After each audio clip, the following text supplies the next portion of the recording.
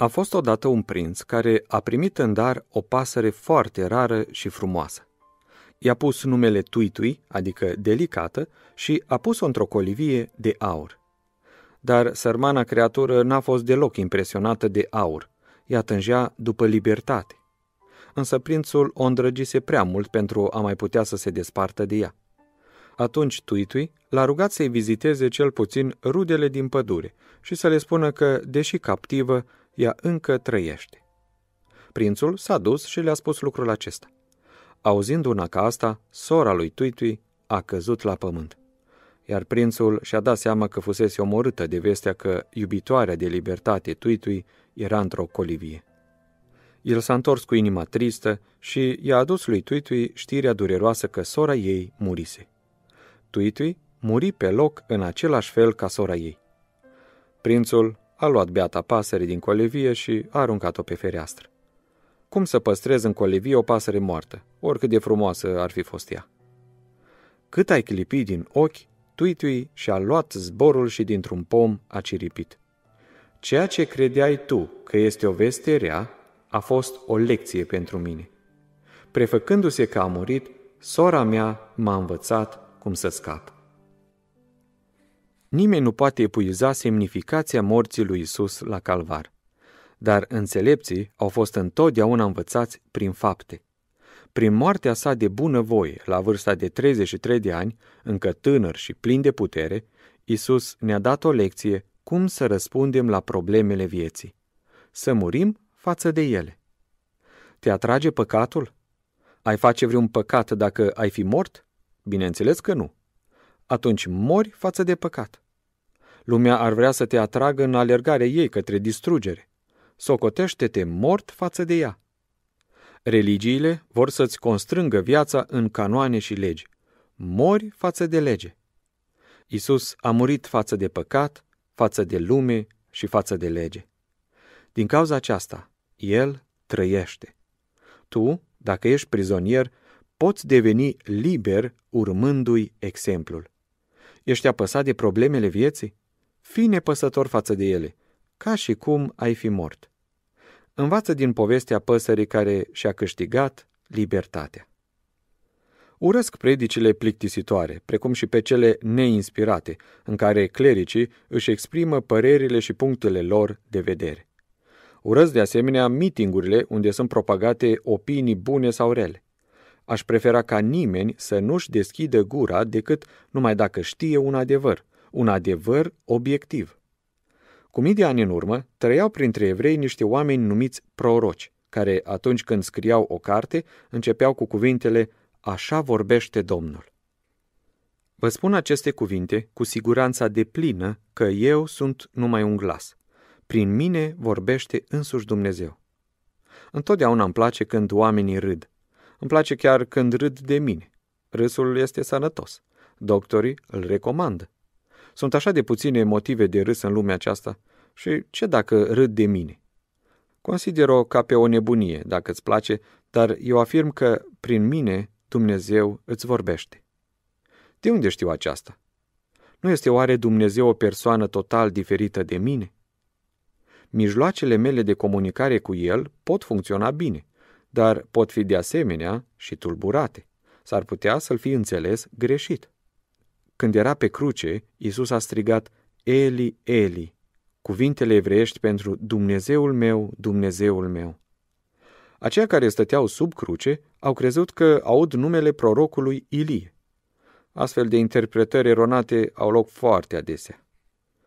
Atunci cum pot avea siguranța că eu, Richard Wurbrand, scriu exact ceea ce Dumnezeu dorește să-mi transmită?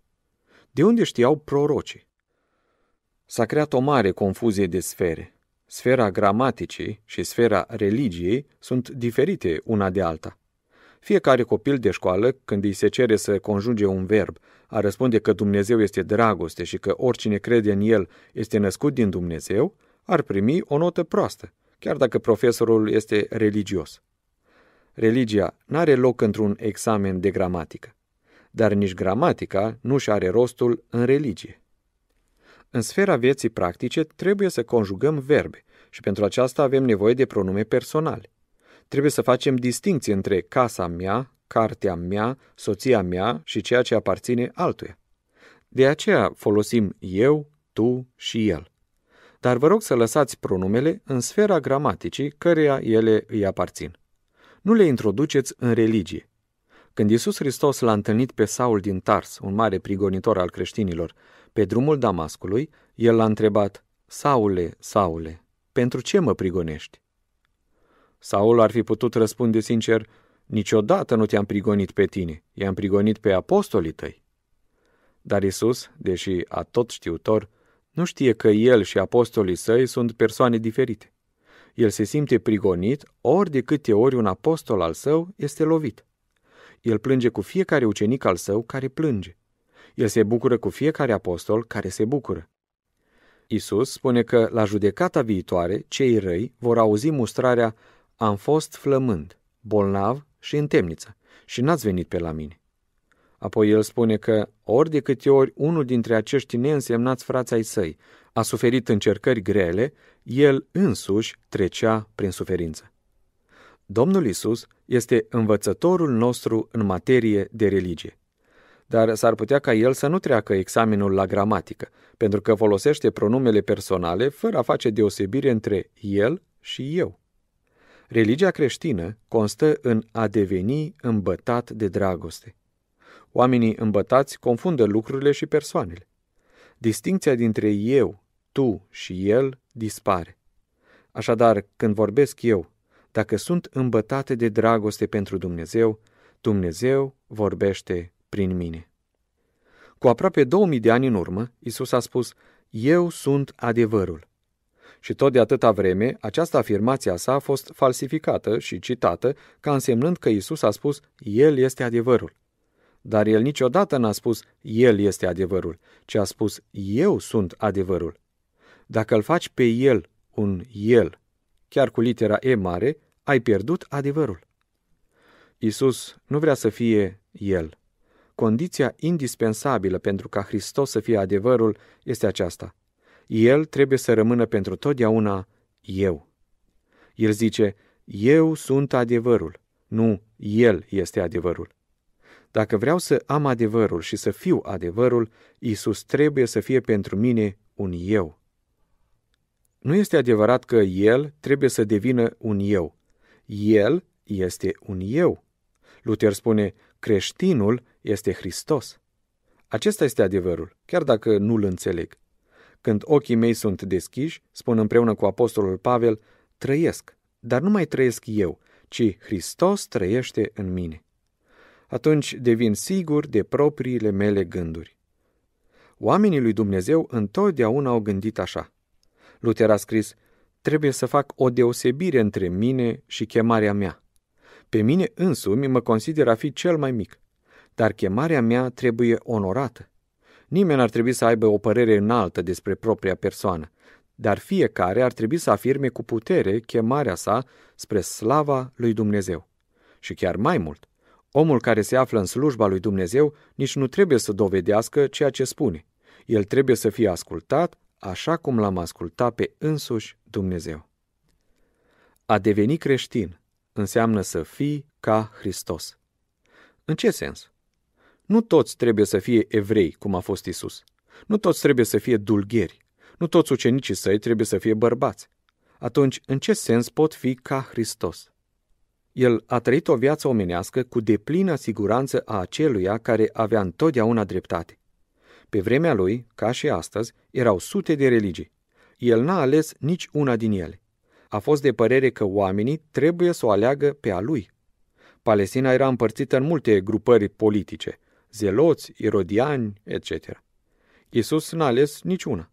El vorbea despre lucrurile pământești, iar ceilalți trebuiau să accepte ceea ce spunea el. El n-accepta niciodată ceea ce spuneau alții. El știa că întruchipează adevărul. A fi creștin înseamnă a fi ca Hristos, adică un om fără îndoiele asupra mesajului, un om care să știe că Hristos nu este un El. Când vorbește omul acesta, Hristos vorbește prin el. Punând relațiile vieții spirituale în cuvinte omenești, va trebui să folosesc pronume personale, dar să ne fie clar – Când Domnul spune veniți la mine, trebuie să veniți la El spunându-vă că Isus nu mai este un El pentru voi. Sau mai pe înțeles, eu nu vă chem să veniți la El. Cuvintele sfințite sunt veniți la mine. Deci nu veniți la Isus El, adică nu vă faceți din El un obiect de închinare. Isus să-ți fie un eu. Toată ideea de obiect și subiect este o iluzie, consolidată în noi prin structuri lingvistice. Acestea mă vor obliga și pe mine să folosesc pronume, dar eu le voi folosi așa, conștient că ceea ce noi numim eu este numai un punct de întâlnire temporar de forțe diferite, care își schimbă în continuare intensitatea și direcția lor. Să învățăm să gândim în afara categoriilor eu, tu și el. Gânditorul, gândirea și actul gândirii sunt una. Există un singur eu puternic. Cele zece porunci încep cu cuvintele Eu sunt Domnul. Numai într-unul, acestui singur Dumnezeu, avem viața, mișcarea și ființa. Fapte 17 cu 28. Noi formăm viața interioară a lui Dumnezeu. Nu suntem în afara lui. Dumnezeu contrazice mereu noțiunea unui eu al nostru, ca opus eului său. Ieremia nu a vrut să accepte chemarea de a deveni proroc. El îi spune lui Dumnezeu, sunt un copil. Dar Dumnezeu îi răspunde, nu zice, eu sunt un copil, căci eu sunt cu tine. Ieremia 1, de la versetul 6 la 8. Semnificative sunt cuvintele lui Dumnezeu. Nu zice eu cu e mic, căci eu cu e mare.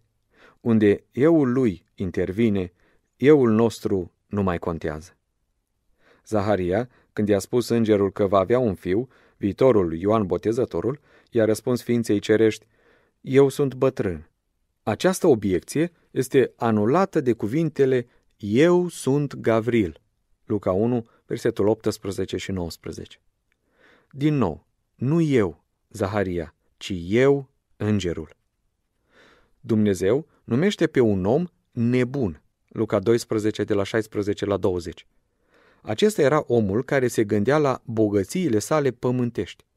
Era ușor de recunoscut că era nebun. În trei versete, el a folosit cuvintele eu și ale mele de nouă ori, neștiind că acest eu va muri chiar în noaptea aceea și ale mele vor trece în posesia altora. A veni la Domnul înseamnă a veni la unul ale cărui chip și asemănare le ai și tu. Isus i-a spus Caterinei de Siena, Eu sunt cel ce este. Tu ești cea care nu este.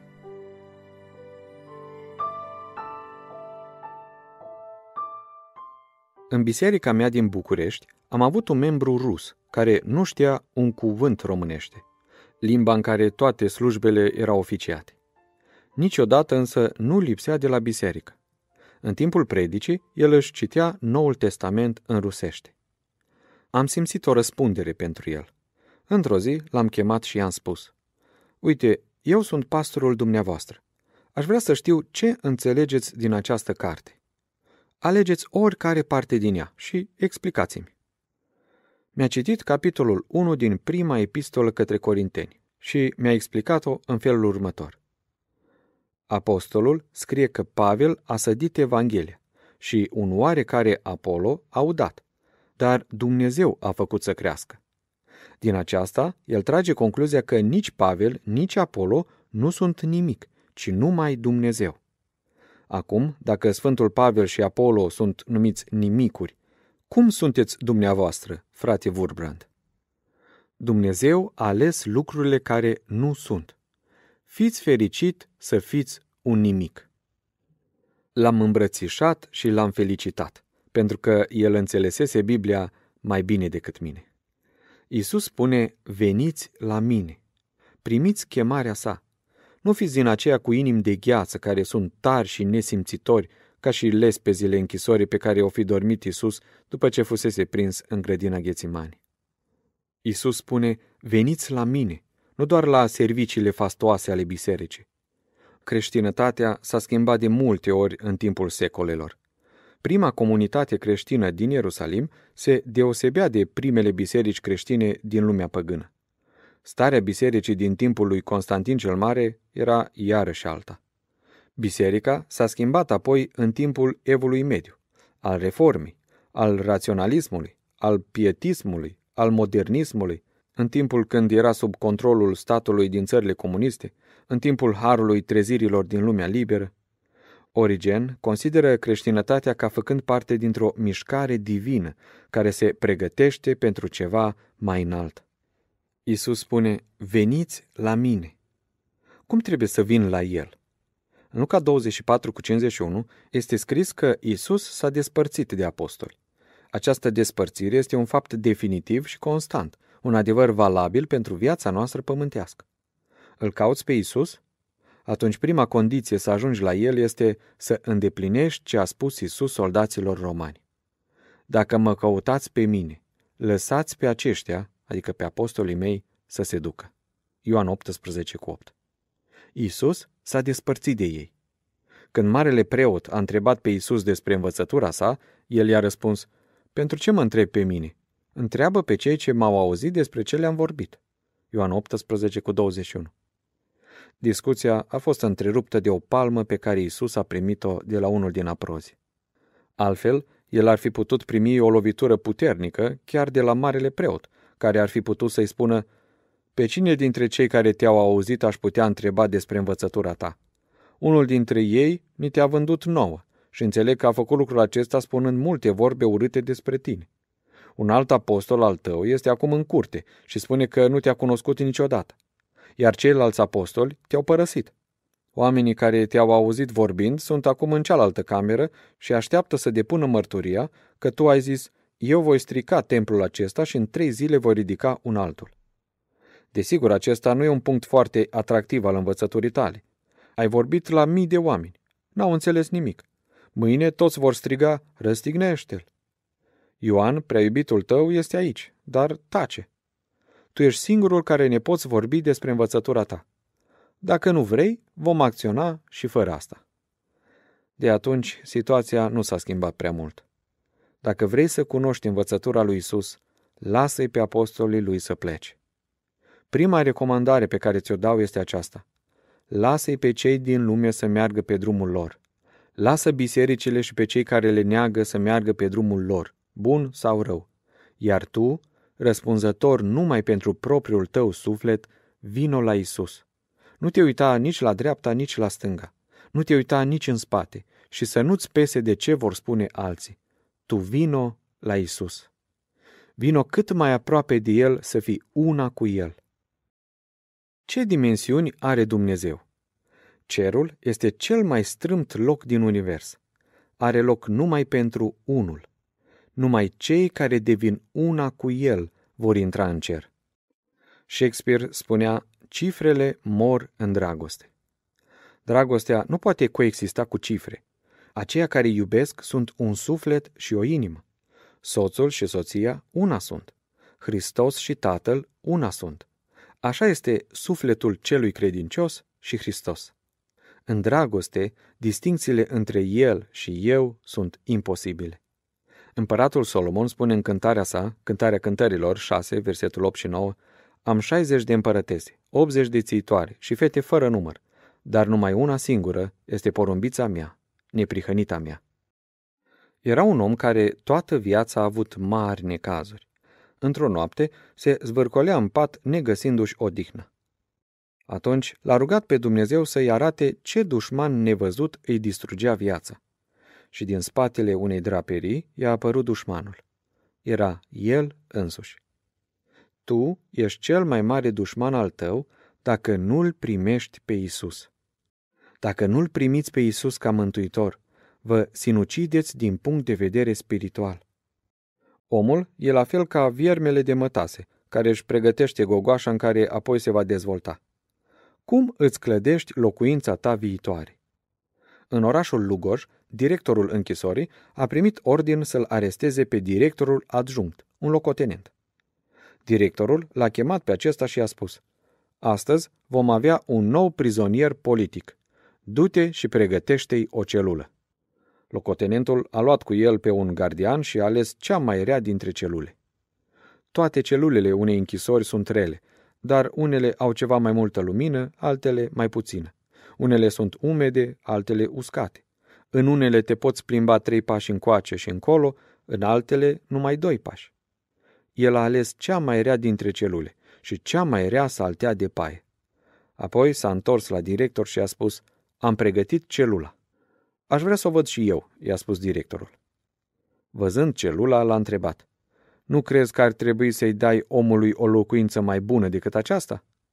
Locotenentul i-a replicat. Sunteți prea îngăduitor, tovarășe capitan.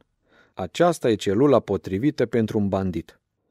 Atunci directorul i-a spus, Ei bine, tu ești banditul. Te rog să intri. Și ușa a fost încuiată după el. Noi toți decidem viitoarea noastră locuință, primindu-l sau refuzându-l pe Hristos. Aceia care îl refuză vor avea de suferit în iad. Iadul este un loc rău. Știu aceasta fiindcă sufletește sunt acolo adesea.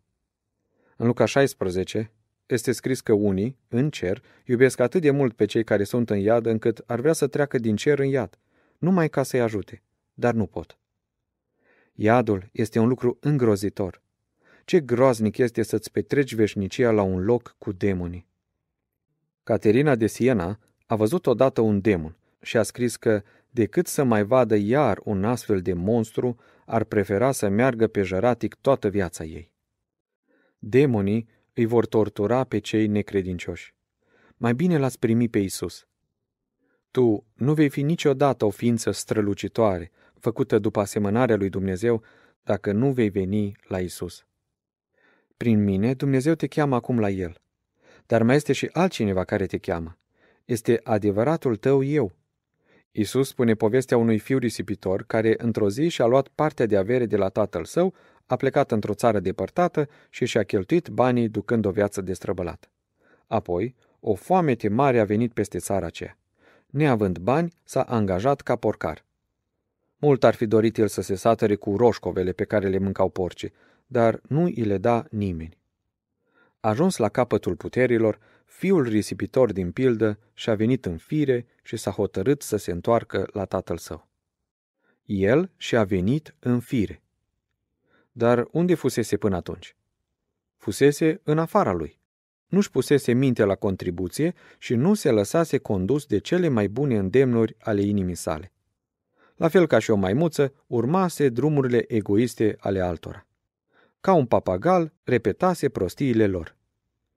Cei mai mulți oameni ar prefera să moară decât să gândească ei înșiși. Iar fiul risipitor și-a venit în fire, a revenit la propria sa identitate și implicit s-a întors la adevăr și la tatăl său. În pildă, Dumnezeu este tatăl. Este pur și simplu neadevărat că ai trăit fără Isus până acum. A fost, numai că adevăratul tău eu, ființa frumoasă creată după asemănarea cu Dumnezeu, nu a fost în interiorul tău. Poate tu ești o amestecătură de tot felul de prejudecăți și credințe adunate de pe la alții. Actorul îl joacă într-o zi pe Hamlet și în alta pe Otelo, dar nu este nici prințul Danemarcei și nici maurul gelos. El este el însuși.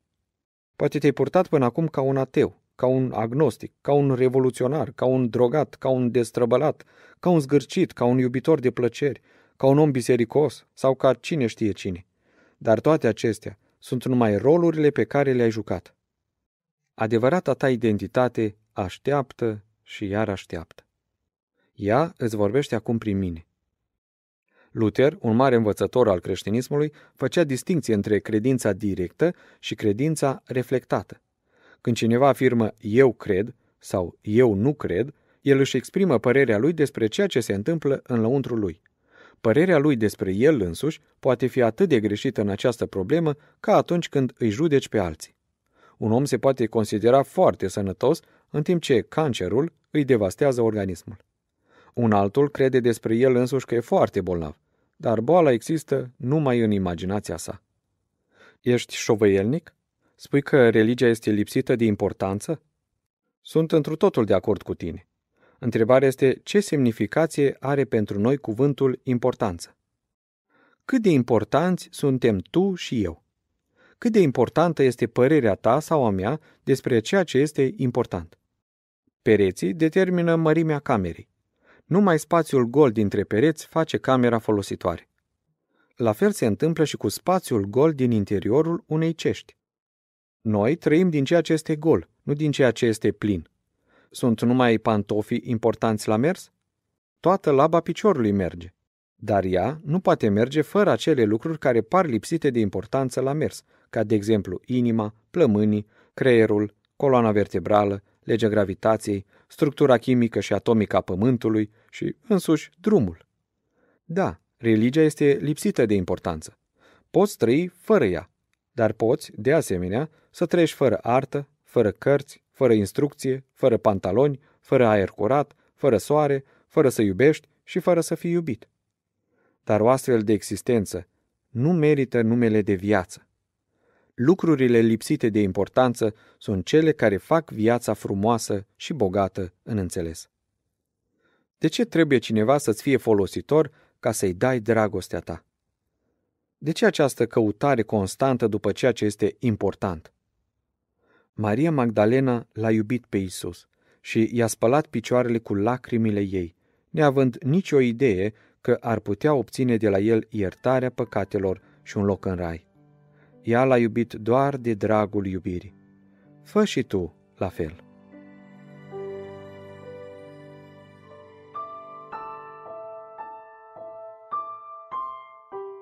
Ridică-te! Nu te opri la jalnicele lucruri importante, între ghilimele. Viața s-a schimbat mai mult în ultimii 50 de ani decât în cei 5.000 dinainte. Unii sunt interesați în nave cosmice și expansiunea Universului, alții de mezoni, alții de gene. Nu te ocupa numai de fleacuri, numai cu ce e important pentru scurta ta viață aici. Caută-L pe Dumnezeu. Dacă vei face așa, o mie de întrebări vor apărea în mintea ta. Întrebări pe care un învățător creștin adevărat le poate ignora. Învățătorul trimis de Dumnezeu nu predă ceea ce vrea elevul, ci ceea ce el consideră drept bun pentru elev. În lucrurile spirituale nu-ți trebuie răspuns la nenumăratele probleme religioase, ci mai degrabă la ceea ce Isus numește sărăcie în duh.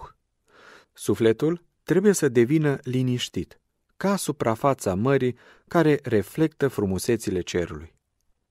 Cel mai bun lucru pentru un învățător în religie este să se țină discret în umbră, să fie numai o voce prin care stăpânul să spună cuvântul pe care îl dorește, sau o alăută care așteaptă atingerea degetelor lui.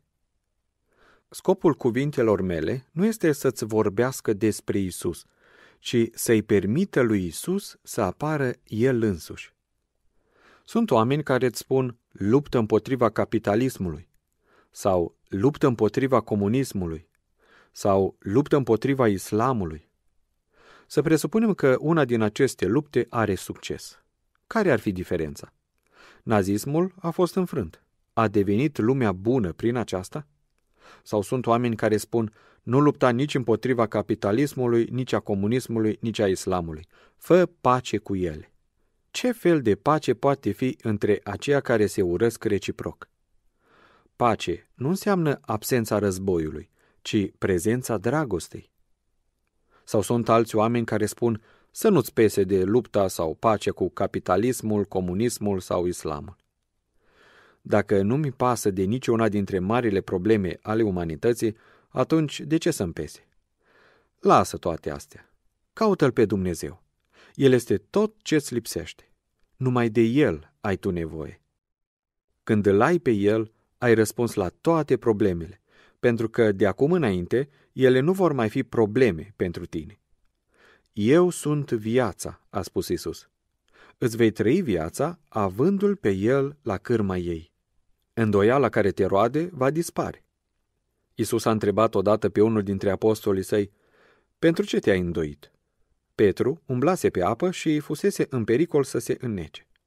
Apostolul nu i-a răspuns niciodată Mântuitorului la întrebare, dar nici Mântuitorul n-a insistat. Dacă el ar fi insistat, poate Petru ar fi răspuns, M-am îndoit că voi fi salvat din acest pericol mortal, pentru că tu ești de nepătruns. Mulți care cred în Dumnezeu se înneacă. Unii scapă într-un fel miraculos. Niciodată nu știi cum ar putea fi în cazul tău. Petru a greșit când s-a îndoit. Aceasta din cauza că, odată ce aparții lui Isus, viața și moartea sunt una și aceeași pentru tine. El este veșnic. Așa ești și tu, pentru că distinția între El și tu nu există. Gramatica nu are loc în religia adevărată. Adversarii noștri spun că religia este o iluzie. Dar orice iluzie este greșită. Omul care se înneacă are iluzia că doarme pe perne moi, cel care îngheață că stă la o sobă caldă. Unele iluzii sunt mecanisme care ne ajută să depășim niște momente grele. Există iluzii bune și rele, tot așa cum există gânduri bune și rele. O iluzie poate fi o mamă iubitoare, întemnițată, care își trece pieptul printre barele de fier și îi dă să sugă copilului ei speriat. Iluziile sunt o forță extraordinară. Ele pot da viață nouă și putere celor care sunt aproape pierduți. Dar mângâierea lui Hristos nu este o iluzie, este o realitate. Poate o să mă întreb de unde știu aceasta.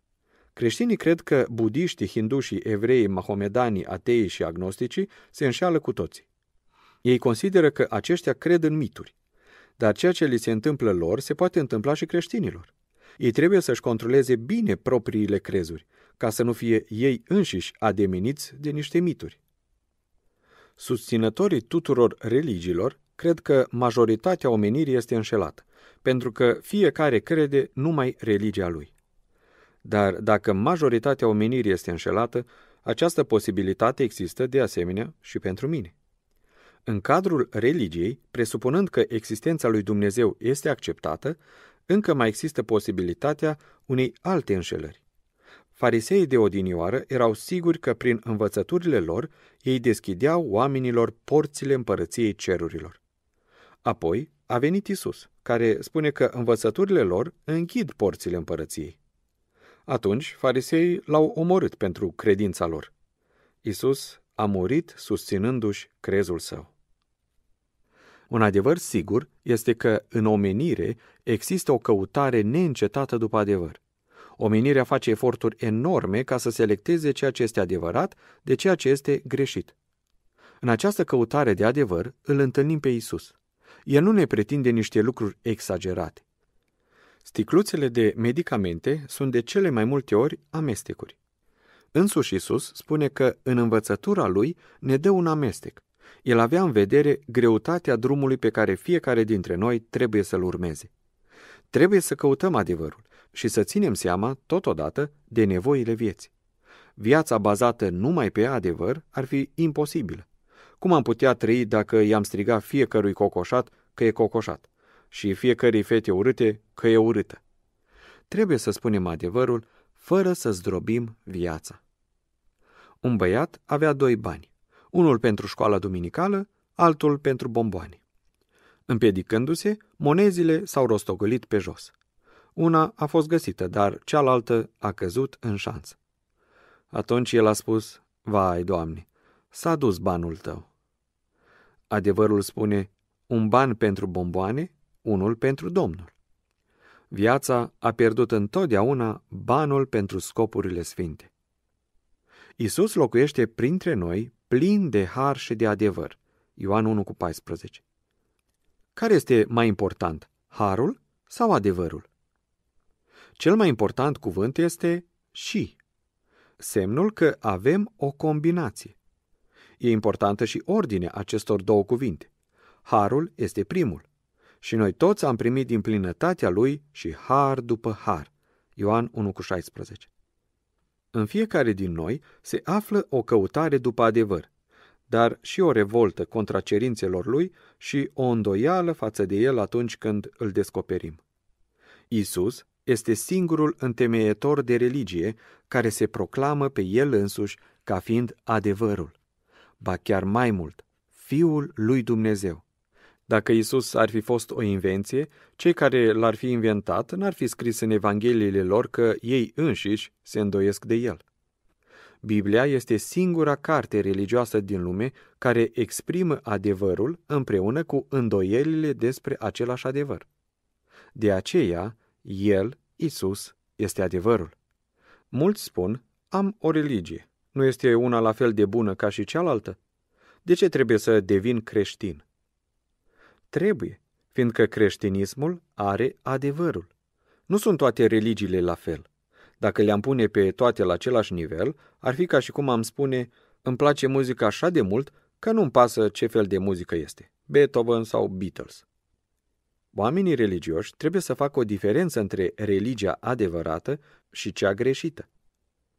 Creștinismul este religia adevărată pentru că ea include în dragostea ei atot cuprinzătoare pe cei de toate celelalte religii și chiar pe cei care nu sunt religioși. Esența creștinismului este dragostea. Dragostea este singura religie care ne spune să nu ne limităm numai la ceea ce ne învață ea, ci să ne gândim la tot ce este vrednic de cinste, la tot ce este adevărat, la tot ce este drept, la tot ce este curat, la tot ce este vrednic de iubit, la tot ce este vrednic de primit. Filipeni 4:8 Poate vei spune, dar eu sunt un om de știință. Nu pot crede în tot felul de minuni. De exemplu, ca o fecioară să fi născut. Știu că sunt legi ale naturii care nu pot fi încălcate. Dar ele n-au fost încălcate în cazul lui Isus. Pentru o ființă ca el, lucrul natural a fost să se nască dintr-o fecioară. Pentru o ființă ca el, era firesc să se întâmple lucruri cu totul ieșite din comun. Dar, în orice caz, nașterea dintr-o fecioară și alte întâmplări minunate ale vieții sale sunt de o importanță secundară. Dacă cineva unește un adevăr înalt cu unul mai mic, adevărul înalt suferă, ba moare. Moare din cauza mezalianței. Nimeni nu te-a chemat la credința că o fecioară l-a născut. Ești chemat să vii la Isus. Vino! Dar nu respinge cu ușurință nici această naștere dintr-o fecioară. Boris Pasternak, câștigător al Premiului Nobel pentru literatură, a scris în Dr. Jivago, nașterea supranaturală a lui Hristos ne învață că viața trebuie să se ridice la neobișnuit în locul banalității, la sărbătoare în locul monotoniei de fiecare zi. Te chemăm la Isus pentru că El pentru tine s-a făcut păcat. Astfel, Isus nu este deasupra ta, ci este sub tine. Nu trebuie să te urci ca să vii la El, ci trebuie să cobori. Câte păcate ai făcut în viața ta? Ai omorât poate o sută de oameni? Isus a luat asupra lui crimele a milioane de oameni. Ai făcut zece tâlhării? Isus a luat asupra lui mii de tâlhării. Câte adultere ai săvârșit? Isus a luat asupra lui necurăția sexuală a milioane de oameni. La fel și cu minciunile și cu alte păcate. El se întâlnește cu o femeie cananeancă și adresează o exclamație de admirație. O femeie! În Matei 8 cu 10 ni se spune că Isus, când a auzit cuvintele unui sutaș, s-a mirat și i-a făcut un compliment. Este mare lucru să-L admiri pe Isus, dar încă mai mare lucru să fii admirat de Isus. El știa că acest sutaș este un păcătos, dar Isus a luat asupra lui mai multe păcate decât făcuse acest sutaș. În cântarea lui Solomon sunt cuvinte pe care mirele ceresc, Isus, le va spune miresei sale. Mă voi sui în finic. Cântarea cântărilor 7 cu 8. El se înalță spre noi. Se suie spre noi cu admirație cel mai mare păcătos care a existat vreodată. N-a fost nici când un ucigaș, hoț, bandit sau mincinos mai mare decât Isus Hristos. Dar nu în sensul că El ar fi săvârșit aceste păcate, ci că El le-a luat asupra Lui. Ele sunt ale Lui. Așadar, vino la Isus. Chiar dacă nu-ți plac anumite lucruri din viața Lui pământească, vino la Isus. A făcut lucruri care îți displac, tocmai pentru că a luat asupra Lui păcatul tău și al meu. Poate ești încurcat și spui nemulțumit, dacă îl accept pe Isus, trebuie să accept și Biblia, și este plină de multe greșeli dovedite. Cei care au citit Biblia în limba originală în care a fost scrisă afirmă că ea nu poate conține greșeli. Eu te asigur că este plină de greșeli. Greșelile de gramatică abundă în ea. Sunt aproape la fiecare propoziție. O greșeală gramaticală frecventă în Biblia ebraică constă, de exemplu, în faptul că substantivul este la singular și verbul la plural. Întrebarea este, a cui e greșeala? Eu cred că gramatica este vinovată, nu Biblia. Este exact cum am spune, el fac un lucru, în loc de el face un lucru. Gramatica începe cu presupunerea că poate exista un el unitar care face, dar fiecare el este foarte complex, cu multe componente contradictorii. Fiecare el este o mulțime de impulsuri, gânduri complexe aflate în contradicție. De aceea, verbul pentru el trebuie să fie la plural. Așa se întâmplă că Biblia este plină de greșeli, între ghilimele. Standardele de corect și greșit cu care măsurăm Biblia pot fi greșite. Biblia conține greșeli numai pentru că noțiunea noastră despre ceea ce este o greșeală este greșită. Poate ai spune, dar al primi pe Isus înseamnă să-ți petreci timpul slăvindu-L în zadar pe Dumnezeu. Apropo, pentru ce îi trebuie lui laudele noastre? De ce este el atât de grijuliu cu prestigiul său? El n-are nevoie de laudele tale. Tu ai nevoie să-l lauzi pe el. El este supremul bine. Dacă nu-l vei lăuda pe el, te vei lăuda pe tine însuți sau pe alte ființe inferioare și ți se va bara astfel drumul înaintării. Pastor nu trebuia să fie umil.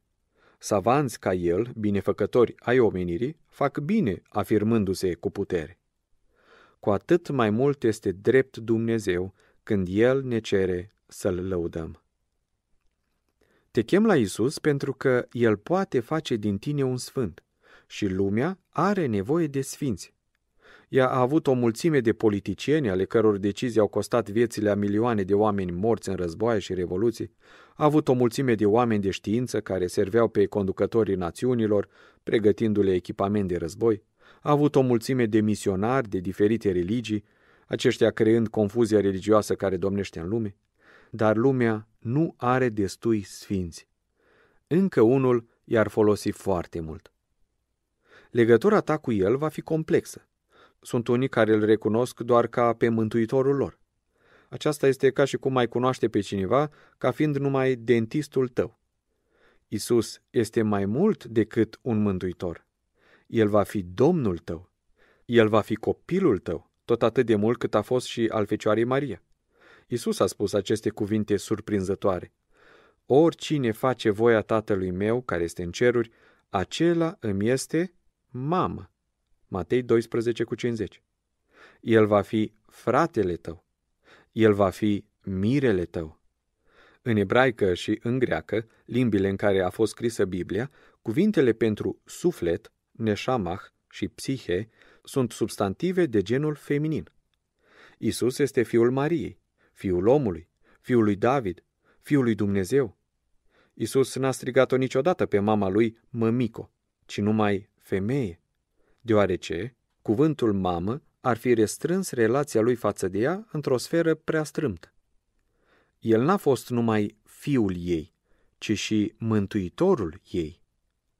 Așa de felurită va fi și legătura lui cu tine. Ba mai mult, el va fi legat de tine în moduri pe care nu le poți avea cu o ființă umană. Nu vei avea numai pe cineva care să te mântuiască, să te învețe, ci îl vei avea pe Isus. Poate ai fost la biserică și ai luat parte la liturgia ortodoxă, misa catolică ori cina Domnului evanghelic. Acolo vei auzi cum un preot sau un pastor, având în mână o bucată de pâine, va spune aceste cuvinte. Luați, mâncați. Acesta este trupul meu care se frânge pentru voi. Pâinea reprezintă trupul lui Isus Hristos.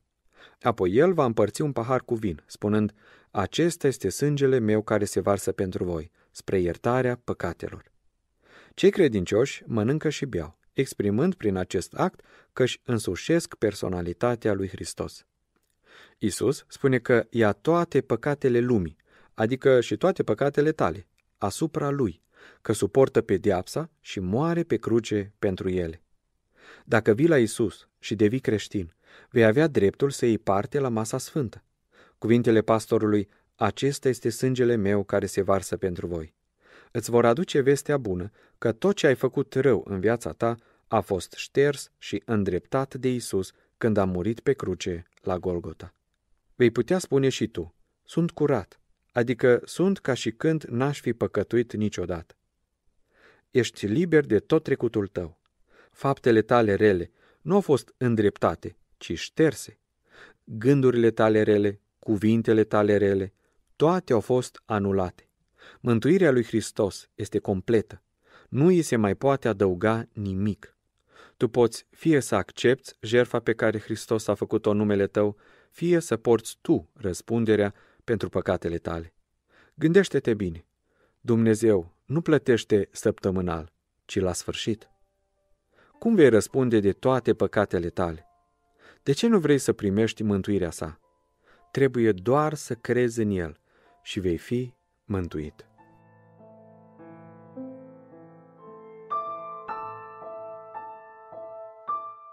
Cu mult timp în urmă au trăit doi frați. Cel mai mare era un om bun și credincios, iar cel mai mic un ticălos. De multe ori, fratele mai mare îl ruga fierbinte pe fratele mai mic să-și schimbe atitudinea. Se ruga mereu pentru el, dar totul era în zadar. Cel mai mic mergea din rău în mai rău, până când, într-o noapte, a venit acasă cu hainele pline de sânge.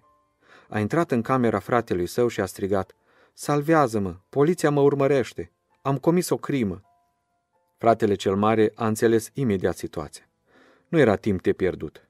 De-abia au avut timp să-și schimbe hainele între ei, că a și intrat poliția și l-a arestat pe fratele mai mare, care purta hainele pătate de sânge. La proces, acesta nu s-a apărat. Din contră, el a spus, port toată responsabilitatea crimei. Judecătorii nu s-au îndoit de vinovăția lui și l-au condamnat la moarte. Când a fost întrebat care este ultima dorință, el a răspuns, este una singură, ca fratele meu să primească în timpul execuției mele această scrisoare. A doua zi, fratele mai mic a primit scrisoarea în care a citit. Chiar în această clipă eu mor pentru păcatul tău, în hainele tale mânjite de sânge. Sunt fericit să fac acest sacrificiu pentru tine și sunt sigur că, de acum înainte, îmbrăcată în hainele albe pe care ți le-am lăsat, vei duce o viață curată și sfântă. Fratele cel mic a fost cuprins de remușcări. A încercat să oprească execuția. Era prea târziu. Dar a hotărât să-și schimbe radical viața, iar foștilor camarazi de fapte rele le spunea, acum, în hainele curate lăsate de fratele meu, care a murit în locul meu, nu mai pot face faptele rele de până acum. Isus știa că acesta va fi și rezultatul jertfei sale în inima ta. El te va mântui, oricât de păcătos ai fi. Dacă Iuda ar fi venit la Isus după trădare, noi l-am fi cunoscut astăzi sub numele de Sfântul Iuda. Așa cum o radieră șterge greșelile, așa șterge și Isus păcatele. Îngerii n-au fost scârbiți de rănile și bubele de pe săracul Lazar. După ce a murit, el a fost dus de ei în rai. Isus, cât a fost pe pământ, n-a avut loc nici unde să-și pună capul să se odihnească. El acceptă bucuros casa și inima ta ca loc de odihnă pentru el. Ai păcate și ele sunt roșii ca purpura. Păcatele sunt denumite roșii în scriptură, deoarece ele fac ca distanța dintre Dumnezeu și tine să fie foarte mare. Dar albul purității este la dispoziția ta. Albul este plinătatea luminii. Isus este lumina lumii. Dacă vrei, îl poți avea și tu. Numai astfel vei deveni neprihănit. Ne considerăm neprihăniți fără această lumină pentru că nu cunoaștem legea lui Dumnezeu. Un brahman se lăuda odată cu faptul că el n-a nimicit nicio ființă în viața lui. Apoi un misionar i-a arătat la microscop o picătură de apă. S-a speriat brahmanul când a văzut că, de câte ori a băut apă, el înghițea nenumărate ființe.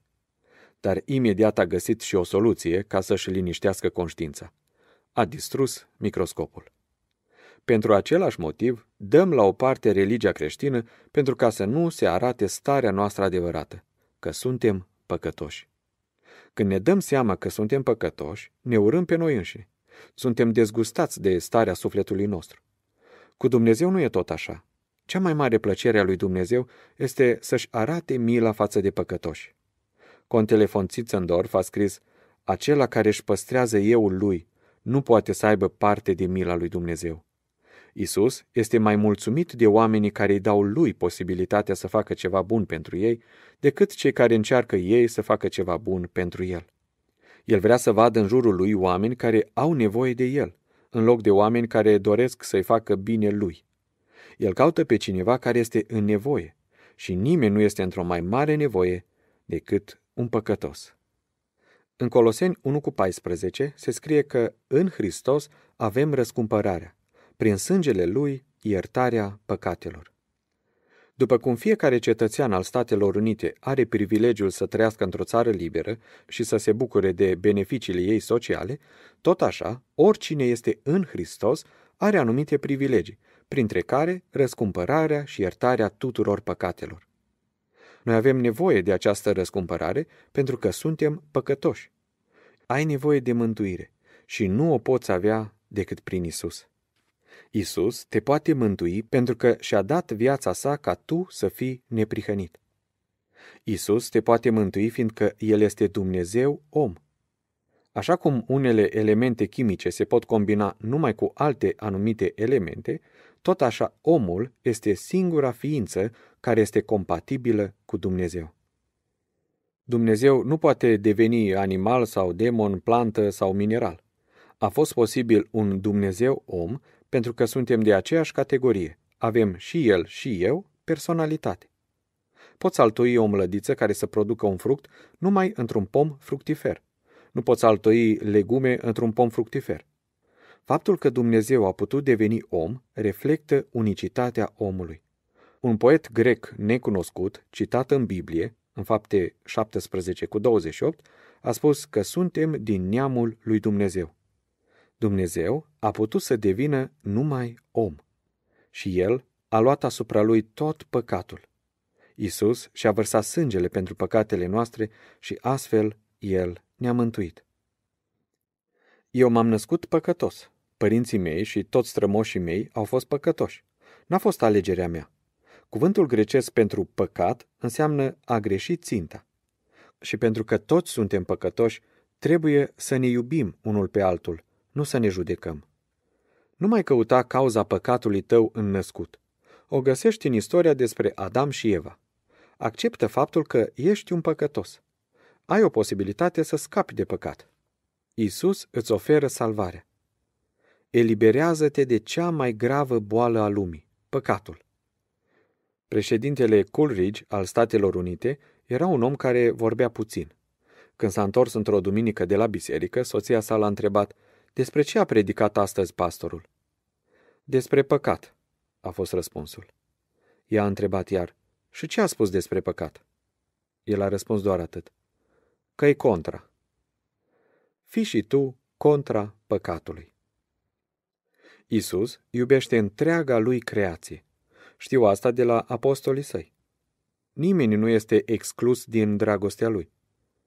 În această creație trăiește rasa umană, căreia i s-a întâmplat o mare catastrofă. Ea a căzut în păcat. Viața fiecăruia dintre noi a fost distrusă de el. Nimeni n-a scăpat de pata păcatului. Amintirea păcatelor făptuite în trecut ne face să ne chinuim atât pe noi înșine cât și pe alții. Astăzi sunt mulți oameni care tulbură liniștea în lume. Aceasta pentru că sunt tulburați ei înșiși.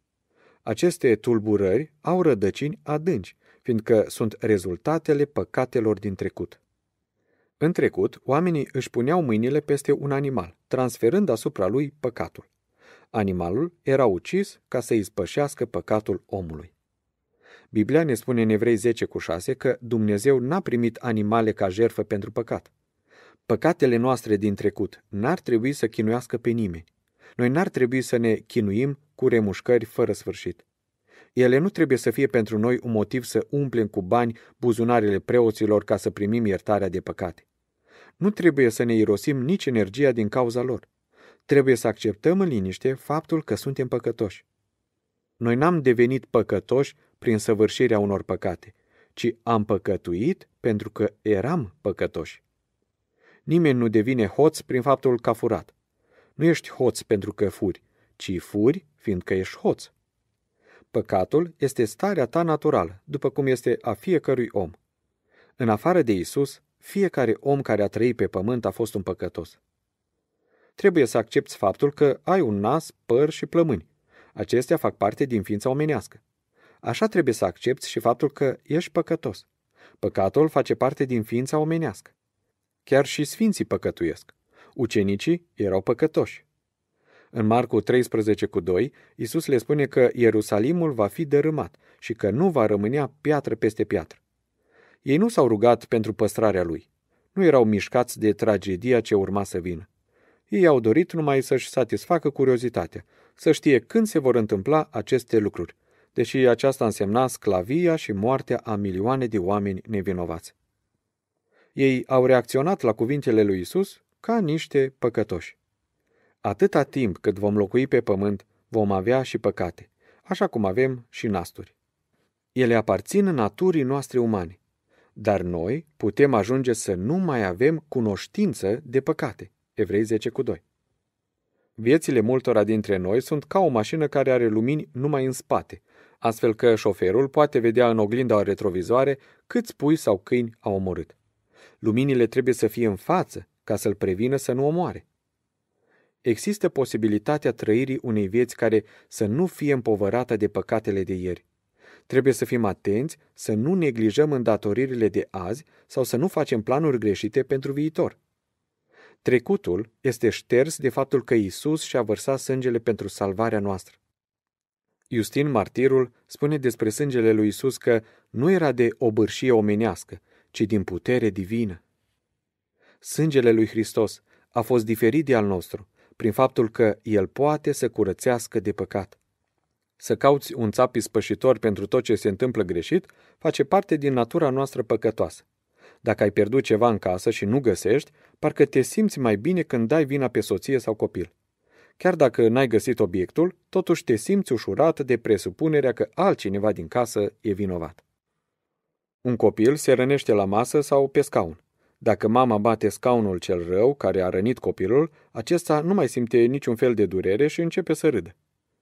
Politicienii fără scrupule folosesc adesea acest mecanism al transferului, dând întreaga vină a tot ce se întâmplă rău în lume pe evrei, pe negri, pe albi, pe comuniști, pe burghezie, pe rege, pe partidul de opoziție.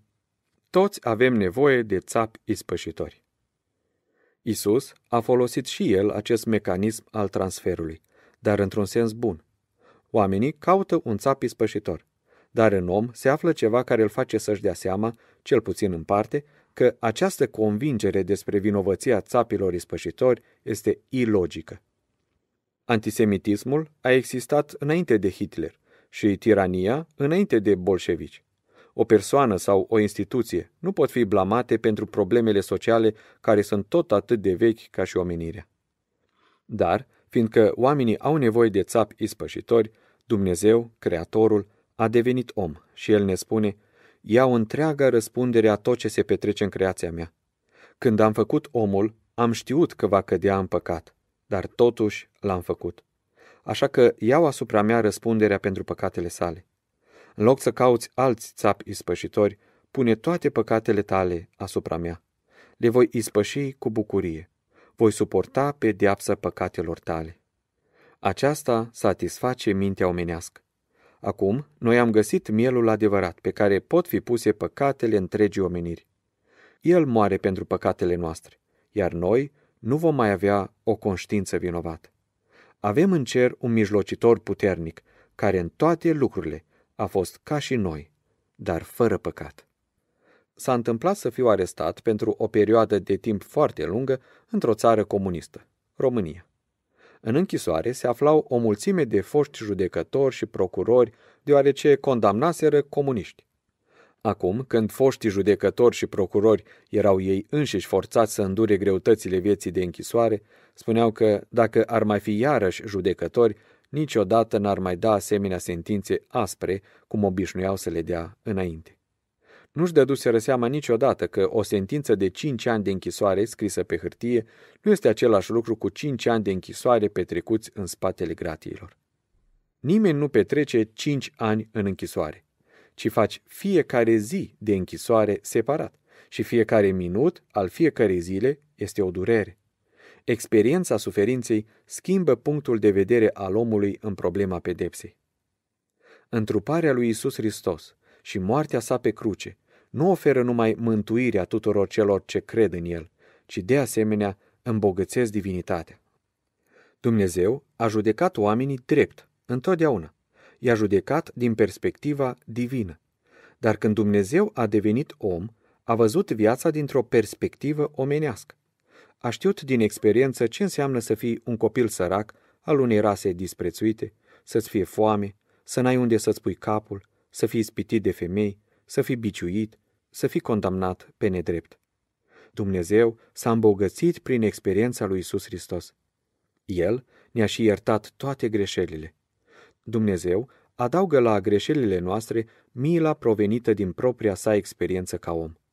El are o deplină înțelegere pentru greșelile noastre și ne le iartă în întregime.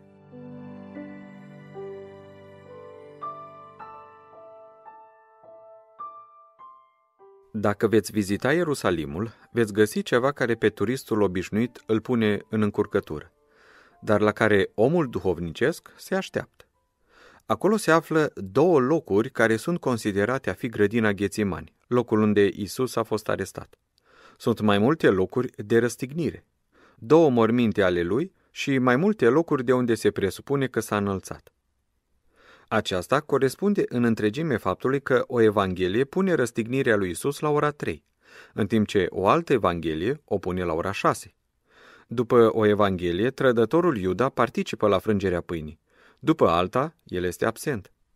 Din punct de vedere istoric, jerfa de pe Golgota și evenimentele legate de ea s-au întâmplat numai odată dar aceasta a fost expresia unei drame liturgice și cosmice care se petrece continuu, la ore diferite, în locuri diferite și în împrejurări diferite, ca și căderea zidurilor Ierihonului, orașul blestemat. Acele lucruri care aparțin trupului lui Isus s-au petrecut acum 2000 de ani și continuă să se petreacă la Ghețiman și Golgota. Isus a suferit ca tu să poți fi mântuit. Acesta a fost un eveniment unic, dar de atunci creștinii au suferit și suferă persecuții ca tu să poți afla despre mântuire. Sângele martirilor este sămânța bisericii. În spatele lui Isus și a bisericii lui care suferă este Tatăl care își jerfește singurul lui Fiu pentru salvarea noastră. Este drept să jerfești o ființă fără păcat ca să salvezi niște păcătoși? După standardele noastre omenești, nu. Noi n-am considerat pe un om drept care, având putere să prevină lucrul acesta, și-ar da propriul fiu să fie batjocorit, scuipat și răstignit, ca să salveze niște criminali de la o pedeapsă bine meritată.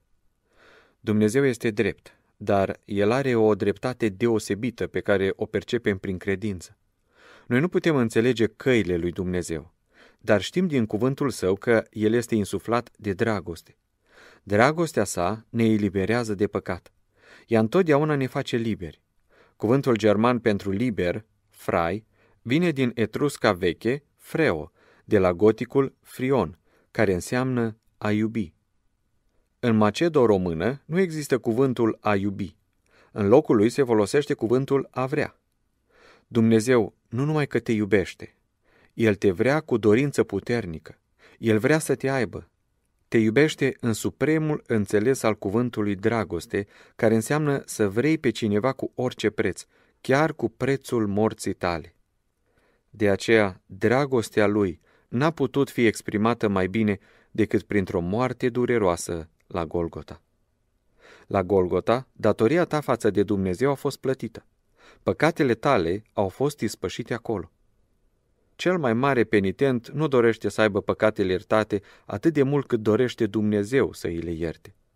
Dovadă este faptul că nici unul dintre noi nu este atât de înfocat să stea o oră în rugăciune sau să dea bani pentru o cauză creștină, cât e de înfocat Dumnezeu să-L dea pe Fiul Său pentru mântuirea noastră.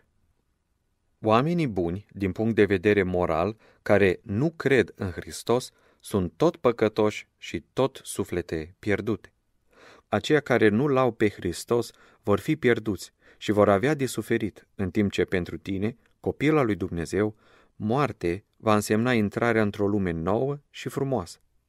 Moartea are pentru noi o față blândă. Dacă Isus ar fi spus că pedeapsa pentru păcat consta numai în turnarea de apă clocotitoare pe trupul tău gol, ai mai săvârși păcatul. Un singur lucru este sigur. după spusa lui Isus, că pedeapsa pentru păcat va fi foarte grea. Noi suntem mântuiți prin îndurarea lui Hristos. Cu păcatele noastre i-am străpuns inima, iar din ea curs sângele care ne-a spălat de aceste păcate. Iată și cele șapte cuvinte rostite de el pe crucea Golgotei. În primul rând, o rugăciune. Tată, iartă-i căci nu știu ce fac. În al doilea rând, o promisiune adresată unui tălhar răstignit lângă el.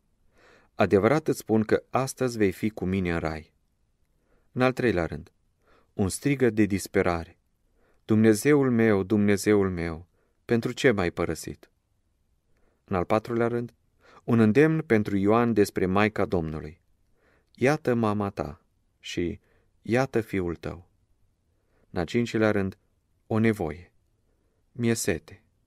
Al șaselea cuvânt a fost o asigurare. S-a isprăvit. Și al șaptelea, iarăși o rugăciune. Tată, în mâinile tale îmi încredințez Duhul. Prin suferința de pe cruce a Domnului Isus suntem mântuiți. Isus ne salvează nu numai de păcat, dar și de singurătatea care îi apasă pe mulți. Vei fi tot timpul în tovărășia Domnului Isus. Te vei bucura și de dragostea fraților și surorilor în credință. Isus ne salvează de tirania evenimentelor vieții. Frumoasa floare de lotus crește în noroi și murdărie. Ea se dezvoltă în locuri urâte, înflorește și în pământ steril. Întâlnim puritatea ei și pe Maidane. Așa va fi și viața ta cea nouă, plină de slavă, chiar dacă este săracă și plină de amărăciune. Te vei situa deasupra mediului în care trăiești. Vei putea trăi în sfințenie, chiar dacă soarta ta va fi să locuiești în mizerie, sărăcie și murdărie exterioară. Ai fost un sclav al mediului. Acum vei fi liber. Toate mișcările religioase și politice vor să te aibă pentru propria lor plăcere și pentru profit. Isus nu dorește nimic de la tine pentru folosul său. El a plătit prețul cel mare, propria sa viață, ca să te elibereze de păcat. Cine ar putea pune în cuvinte cinstea pe care o datorăm lui Isus care a murit pe cruce ca să ne elibereze de sclavia păcatului și a morții? Noi avem un cel foarte înalt. Vrem să devenim ca Hristos. Ceea ce suntem a fost stabilit de împrejurări fără consimțământul nostru. Adevăratul nostru eu este ceea ce am vrea noi să fim, dacă ar fi după noi. În orele noastre de contemplare și meditație religioasă, noi visăm să fim Isus în miniatură. Din fericire, avem mai mult decât scurta noastră viață pământească pentru ca să atingem acest scop. Apoi, Isus ne salvează de frică. Știi că Dumnezeu este dragoste și nu trebuie să te îngrijorezi. Cu Dumnezeu lângă el, unul dintre eroii Vechiului Testament, Iosua, a biruit regi pe Og și Sihon. Și tu vei învinge forțele uriașe adunate împotriva ta. Liniștea ta îți va da victoria. Când băiatul meu Mihai era mic, m-a întrebat odată, Tată, ce să fac? M-am plictisit. Eu am răspuns, gândește-te la Dumnezeu. De ce să mă gândesc eu cu capul meu mic la Dumnezeul cel mare? Mai bine să se gândească el, cu capul lui mare, la mine, un copil mic, îmi răspunse fiul meu. Hristos este capul bisericii. Atâta vreme cât nu este nicio zbârcitură pe fruntea lui, nu avem motiv ca ele să fie pe frunțile noastre. Dacă Isus este capul, lasă-l pe el să gândească. Piciorul nu trebuie să gândească și nici capul să meargă.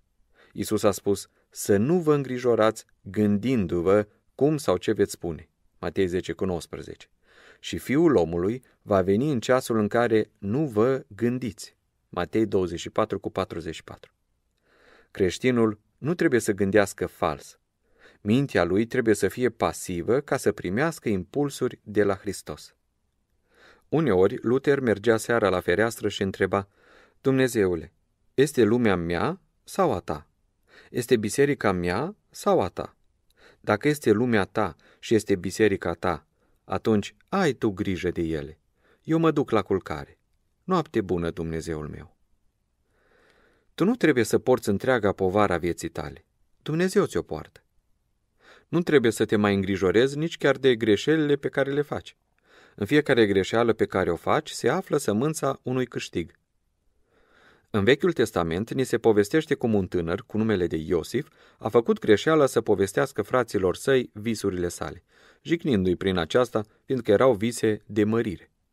Această greșeală a sa a dus după multe peripeții la aceea ca Iosif să devină conducătorul Egiptului. Un creștin trebuie să aibă încredere chiar în greșelile sale. După cum nu trebuie să te îngrijorezi de viața aceasta, așa nu trebuie să te îngrijorezi nici de cealaltă. Ce altceva este viața veșnică dacă nu cunoașterea lui Dumnezeu și a Fiului Său Isus Hristos? Așadar, orice îngrijorare pentru ziua de mâine încetează. Hrana ta va fi mana, iar mana trebuie culeasă zilnic. Nu poți să o păstrezi pentru ziua următoare. Isus te poate salva de febra ambiției. Isus n-a fost niciodată îngrijorat de faptul că era cunoscut de atât de puțină lume. El a trăit în așa fel încât a meritat să fie cunoscut. Nu l-a preocupat să știe dacă meritul acesta va fi recunoscut vreodată. Isus te va învăța să nu prețuiești ambiții exagerate și nici să tinzi către ceva imposibil de atins. Ca credincios, vei accepta să ai limite în însușirile și îndatoririle tale. Nu încerca să faci ceva care depășește puterile tale. Apoi Isus te salvează și de complicațiile vieții. În Exod 20 cu 25, Dumnezeu spune, ridică-mi un altar din pietre necioplite. Deci, nimic complicat. Oamenii care nu aparțin lui Isus privesc lucrurile din punctul lor de vedere. Ei nu știu că fiecare punct de vedere este un punct de orbire, pentru că el îi face incapabil să înțeleagă punctele de vedere diferite de ale lor. Dintr-un anumit punct de vedere, o cameră nu are ușă de intrare. Dintr-un altul, nu are fereastră sau tavan. Poți cunoaște camera numai printr-o intuiție a întregului sau prin schimbarea punctelor de vedere. Isus te scapă de puncte de vedere. Realitatea nu este materială. Ea mai are și suflet. Ea se cunoaște pe ea însăși. Isus este logosul, autocunoașterea realității materiale și spirituale. Isus ne salvează de un orizont îngrădit. Așa cum există unde sonore care nu pot fi percepute de oameni, așa sunt și unde luminoase pe care noi nu le putem vedea. Cu ajutorul instrumentelor vedem mai multă realitate decât cu ochiul liber. Dar pe lângă acestea mai există și viziunea lucrurilor îndepărtate, vederea celor lăuntrice, viziunea mistică și, deasupra tuturor, viziunea beatifică, adică să-L vezi pe Dumnezeu față în față. Oricine nu are aceste viziuni este încă mai mult sau mai puțin orb. Considerăm că ochiul este organul vederii, când de fapt el ne împiedică să vedem realitățile finale. Isus ne salvează de iluziile simțurilor noastre. El vede realitatea ca pe un întreg. Această înțelegere a sa, a întregului adevăr, el o împărtășește ucenicilor săi. El este adevărul de plin, pentru că el este singurul în care adevărul n-a fost niciodată deformat de păcat. Fiecare păcătos este din punct de vedere afectiv legat de ceva rău și aceasta aruncă o umbră asupra adevărului. Hristos a fost fără păcat și el știa că este așa. Niciodată nu a ezitat și n-a avut îndoieli în felul său de a se purta cu ceilalți. Niciodată nu s-a îndoit că prea marea sa severitate putea fi rău înțeleasă. Niciodată nu s-a întrebat dacă ar fi trebuit să fie mai blând. Viața lui a fost țesută dintr-o singură bucată, ca și haina sa. El s-a apucat de fiecare îndatorire nouă, nestingerit de amintiri acuzatoare. De aceea a fost în stare să vorbească cu autoritate. A fost în stare să se proclame pe el însuși ca adevăr. Fără adevărul de plin, viața ta va fi un eșec, iar dacă ești o persoană talentată, vei fi o catastrofă pentru alții. Cel mai mare rău a fost impus omenirii de oamenii geniali, indiferent dacă răspândeau cu artă și îndemânare sau obligau prin măsuri dictatoriale punctele lor de vedere limitate. Ce folositori ar fi fost dacă ei ar fi renunțat la punctele lor proprii de vedere pentru adevărul care este în Isus? Isus te eliberează de rațiune în probleme de credință.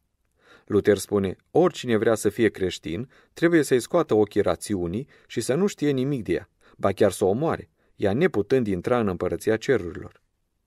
Creștinii își jerfesc intelectul și astfel se debarasează de greșelile inevitabile ale rațiunii când ea intervine într-o sferă în care nu poate fi folositoare.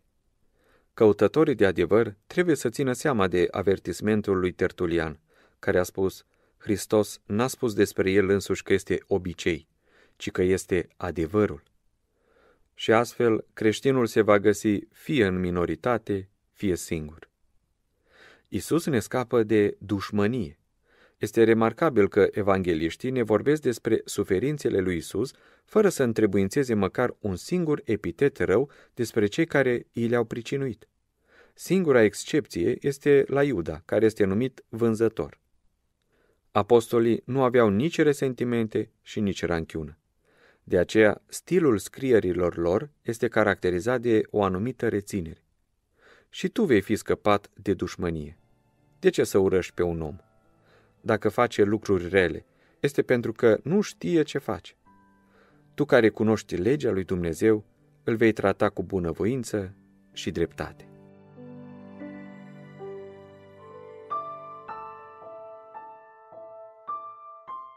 Isus este o ființă foarte complexă. El are multe aspecte. În limba ebraică nu există un cuvânt pentru față la singular. Există numai pluralul panim, adică fețe.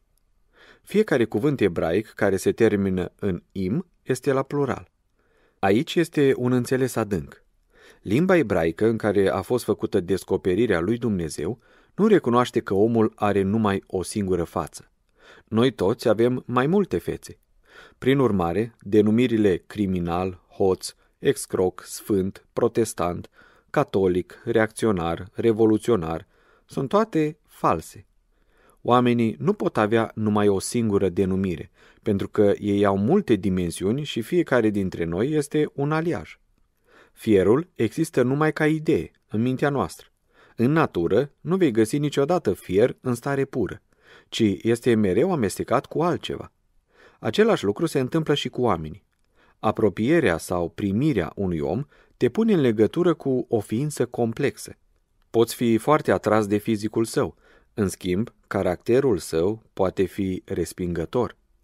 Oamenii extrem de inteligenți pot fi foarte răi. Relațiile noastre față de oameni trebuie să fie bazate pe aspectele diferite ale calităților lor spirituale, fizice și mentale. Acesta este cu atât mai adevărat în relația noastră cu Isus.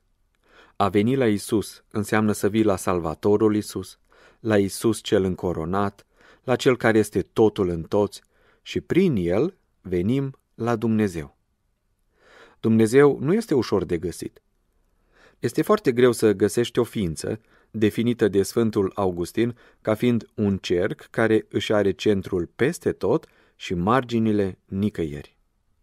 Știința modernă și miracolul televiziunii permit oamenilor să fie peste tot, centrul unui cerc cu o margine foarte largă. Într-o mică măsură, acest lucru ne ajută să înțelegem o ființă care nu are margini deloc și al cărei centru este peste tot. Încerc să-L văd pe Dumnezeu în ceea ce a creat El – în Proverbe 20 cu 12 e scris că Domnul este acela care a făcut urechea care aude.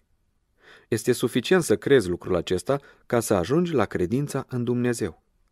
Curburile, dealurile, șanțurile urechii ne permit să determinăm din care direcție vine sunetul și distanța aproximativă a sursei lui. Fiecare convoluție și încrețitură ajută la perceperea sunetelor și ecourilor. Când auzi un zgomot deasupra ta, urechea îl va putea deosebi de zgomotul care vine de jos sau din spate. Când auzi un zgomot în dreapta, urechea îl deosebește de cel venit din stânga și viceversa. Astfel sunt percepute sunetele. Dacă n-ar exista Dumnezeu, cum vă explicați o mașină zburătoare sau o parașută atât de ingenioasă și perfectă cum e păpădia? Savanții în aerodinamică au calculat că este imposibil ca un bondar să zboare. Dar bondarul totuși zboară, neținând cont de calculele specialiștilor în aerodinamică. Ai putea explica lucrul acesta fără existența unui Dumnezeu? Dacă nu-L vezi pe Dumnezeu, Aceasta nu înseamnă că el nu există. S-ar putea să însemne că tu ești orb. Orbirea nu este o calitate, este numai absența luminii. Astfel, ateismul este absența cunoașterii adevărului. Vei bâșbâi dacă nu-L cunoști pe Dumnezeu. Cum arată Dumnezeu? Un om care era orb din naștere a cerut odată un pahar cu lapte și a întrebat pe cel care i l-a adus.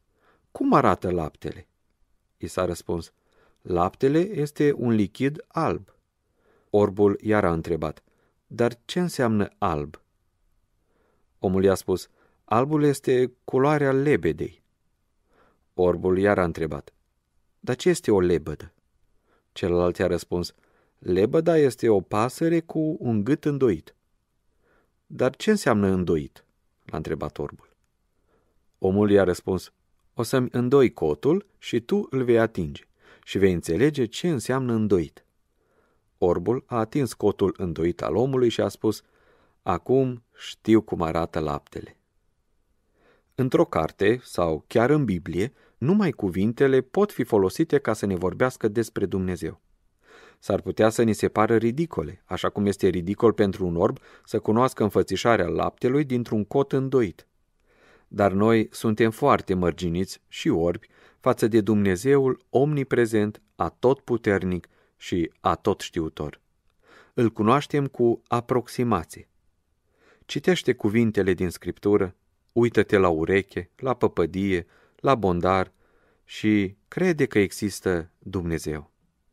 Cuvântul englezesc God, care înseamnă Dumnezeu, ca și cuvintele similare din germană și scandinavă, vin din sanscritul hartu, care înseamnă acela căruia îi se aduce o jerfă. Cine este mai vrednic de jerfă decât Dumnezeu? În forma huta, cuvântul înseamnă acela care este invocat. Pe cine altul trebuie să-l invocăm dacă nu pe Creator? Cuvântul englezesc deity, adică divinitate, vine din sanscritul deia, a străluci. El strălucește mai mult decât soarele și te face și pe tine să strălucești. Aruncă-te cu încredere în brațele sale. Unii cer de pomană, alții o dau. În marele joc al vieții, el, cel de neînțeles, cuprinde totul. El se bucură de orice, de câte două ori, pentru că El este Cel care dă și Cel care primește fiecare dar. Unindu-te cu Dumnezeu prin Hristos, vei cunoaște bucurii negrăite. Un om a venit odată la un creștin și i s-a plâns de un mare necaz care dăduse peste el. Creștinul i-a citat din crez. Cred într-unul Dumnezeu, Tatăl atotțiitorul, făcătorul cerului și al pământului, al tuturor celor văzute și nevăzute. Omul care era în durere a spus, este destul, acum sunt mângâiat. Să nu crezi că-ți vorbesc despre Dumnezeul meu, ci despre al tău. El este Dumnezeul lui Avram, Isaac, Iacov, Richard. El este și Dumnezeul tău. El poate fi tatăl tău iubitor și astfel el acționează ca toate lucrurile văzute și nevăzute să lucreze împreună spre binele tău. Ce este el? Francezii au o zicală. Un Dumnezeu definit este un Dumnezeu care s-a sfârșit. Nu trebuie să facem speculații despre el, ci să-l recunoaștem în toate căile noastre. Arthur Compton, câștigătorul premiului Nobel pentru fizică, scria Ipoteza că există un Dumnezeu inteligent dă o explicație mai plauzibilă pentru univers decât orice altă ipoteză. Iar Einstein, al cărui nume este cunoscut în întreaga lume, a scris Religia mea stă în convingerea adâncă despre existența unei ființe superioare, care s-a descoperit în lume și pe care noi nu o înțelegem. Dacă Einstein a putut crede în Dumnezeu, și tu poți. Ești destinat să crezi în Dumnezeu, nu să-L analizezi. Cu toții folosim invențiile cercetătorilor, deși personal nu-i cunoaștem. Noi, creștinii, suntem oamenii care avem dorința pasionată de a cunoaște invențiile și împreună cu ele și pe inventatorul Universului. Creștinul este Hristos. carne din carnea lui și os din oasele lui. Ca creștini, suntem liniștiți când se spun vorbe urâte împotriva noastră. Știm că omul rău, care îl batjocorește pe creștin, este ca unul care ar scuipa spre cer. Scuipatul nu murdărește cerul, ci se întoarce și cade pe propria lui persoană. Defăimătorul aruncă cu praf, dar vântul îl întoarce tot împotriva lui. Omul neprihănit nu poate fi rănit de cuvintele veninoase ale celui ce îl batjocorește, pentru că batjocura este ca o sabie fără mâner, care îl rănește tot pe batjocoritor, iar mizeria pricinuită de el se întoarce din nou împotriva lui. Fie că este lăudat sau insultat, pentru creștin este același lucru. Un om l-a întrebat pe Sfântul Macarie, ce înseamnă să mori față de lume? Sfântul a răspuns, du-te într-un cimitir, oprește-te în fața fiecărui mormânt și spune-i mortului cuvinte urâte. Omul s-a mirat de porunca aceasta, dar a făcut ce i s-a spus. Apoi Macarie l-a trimis iar, dar de data aceasta i-a cerut să le adreseze morților cuvinte frumoase. Omul s-a dus și a făcut așa. Apoi Macarie l-a întrebat, S-au supărat morții când i-ai insultat? Nu, a fost răspunsul. S-au bucurat când le-ai făcut complimente? Nu, a spus omul. Atunci Macari a spus, aceasta înseamnă să mori față de lume. Acceptăm suferința suportării acuzațiilor false. Soția mea, Sabina, a spus cu privire la acest punct următoarele. Suferința pricinuită nouă, cu voia lui Dumnezeu, nu este în contradicție cu dragostea. Este una dintre metodele ei. De aceea Iisus îl numește pe Dumnezeu, a cărui voie era ca Iisus să fie răstignit, Tată. Oricine devine creștin spune la fel ca și Petru în Luca 22 cu 33. Doamne, cu tine sunt gata să merg chiar și în temniță și la moarte. Fiecare creștin merge spre un fel de închisoare.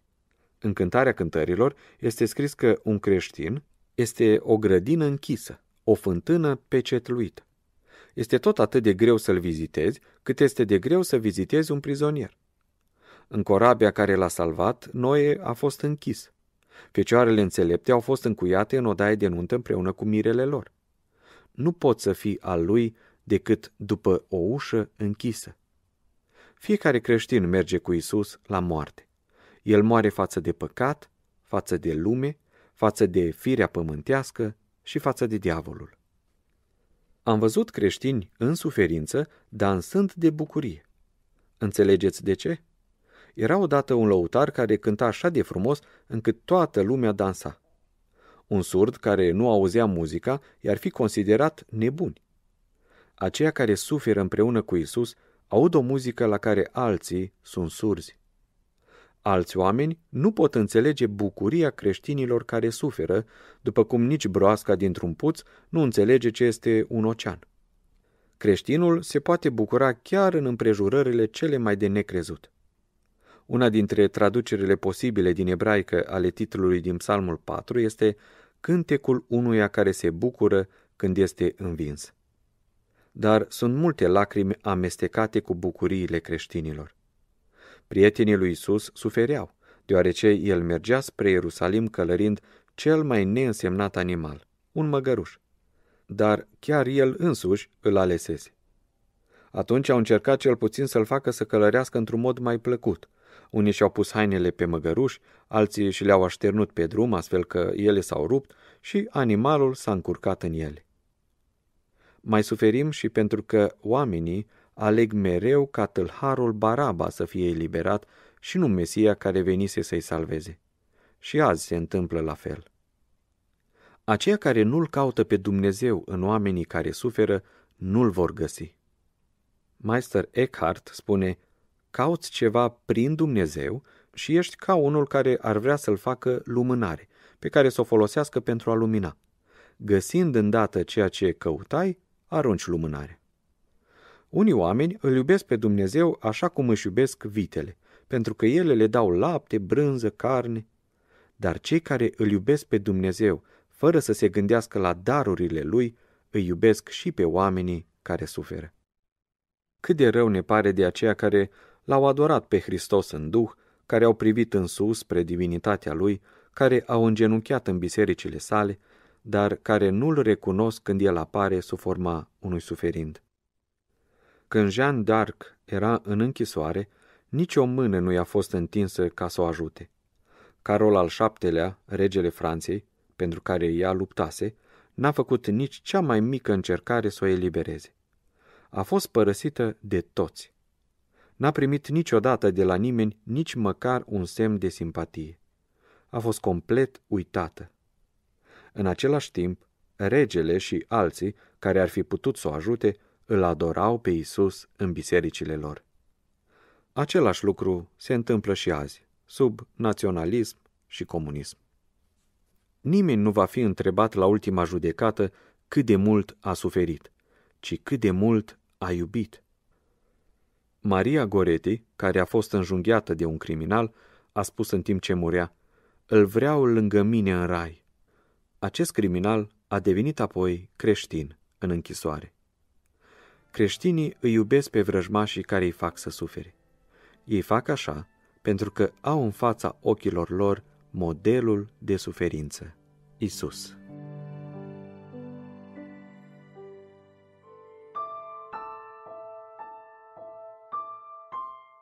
În Isus avem exemplul unui caracter de luptător. Știa că marii preoți trimiseseră o mulțime de oameni să-l aresteze în ghețimani. El, care îi sfătuise pe alții să fugă pe timp de primejdie, stătea acum acolo. Dar adevărul are totdeauna două fețe. Pe de altă parte, vedem în Isus o îngăduință răbdătoare față de cei răi. Cei răi sunt conduși de o forță asupra căreia ei n-au niciun control, puterea păcatului. Dar lupta creștină nu este atât de mult o luptă împotriva oamenilor, cât împotriva satanei și a păcatului. Lupta noastră se dă împotriva căpeteniilor, împotriva domniilor, împotriva stăpânirilor întunericului acestui veac, împotriva duhurilor răutății care sunt în locurile cerești. Trebuie să luptăm împotriva mândriei. Așa cum Isus s-a smerit la maxim, așa trebuie să lupți și tu împotriva mândriei. Dar în timpul luptei, creștinul își păstrează gentilețea. Ceea ce a lăudat Isus în Matei 26 de la 10 la 13 a fost gestul poetic al unei femei care nu a slujit vreunui scop folositor. De fapt, la ce folosește suferințele martirilor? Dacă ar fi fost mai deștepți, ar fi tăinuit adevărul și ar fi supraviețuit. Dar în jerfă este frumusețe, nu utilitate. Frumusețea este apreciată de Isus. De aceea, trăiește frumos și luptă-te frumos, ca să obții o frumoasă victorie. Luptă fără teamă, știind despre corabia lui Hristos că ea navighează contrar legilor hidrodinamice. Ea poate să plutească și când este plină cu apă, vezi Luca 8 cu 23. Isus a calmat marea abia după ce corabia ajunsese a fi plină cu apă. Potolirea furtunii de către Isus n-a exercitat nicio influență asupra corăbii. Corăbiile pline cu apă se scufundă chiar dacă marea este liniștită. Înaintarea bisericii este un miracol neîntrerupt. Trebuie să luptăm pentru câștigarea sufletelor. Isus a spus că trebuie să fim pescari de oameni. Simbolul lui Isus din primele secole ale bisericii a fost peștele, în grecește ichtis. Literele acestui cuvânt sunt folosite în grecește ca inițiale pentru expresia Isus Hristos, Fiul lui Dumnezeu, Mântuitorul. După ce a suferit pentru noi, Isus a înviat și s-a înălțat la cer, unde a fost încoronat. Cât a fost pe pământ, a luat chip de om. Acum este din nou pe tronul lui Dumnezeu. Când am citit pentru prima dată Noul Testament, mi s-a părut o carte ridicolă. Apostolul Pavel scrie că a fost răstignit și îngropat împreună cu Isus și că acum este așezat în locurile cerești, lucruri care, la vremea aceea, pentru mine, nu puteau fi adevărate. Pavel nu fusese răstignit împreună cu Isus, Isus murise între doi tălhari. Pavel nu putea fi nici îngropat. Cine este în mormânt nu mai poate scrie epistole despre experiența lui. Când a scris că era în locurile cerești, el tocmai era în închisoare. Cum poate o astfel de carte să fie considerată sfântă de milioane de minți luminate? Răspunsul la enigma mea l-am găsit la Sfântul Toma d'Aquino. El spune, acțiunile și pasiunile aparțin persoanei. Nu stomacului meu îi este foame, ci mie. Eu merg, nu picioarele mele.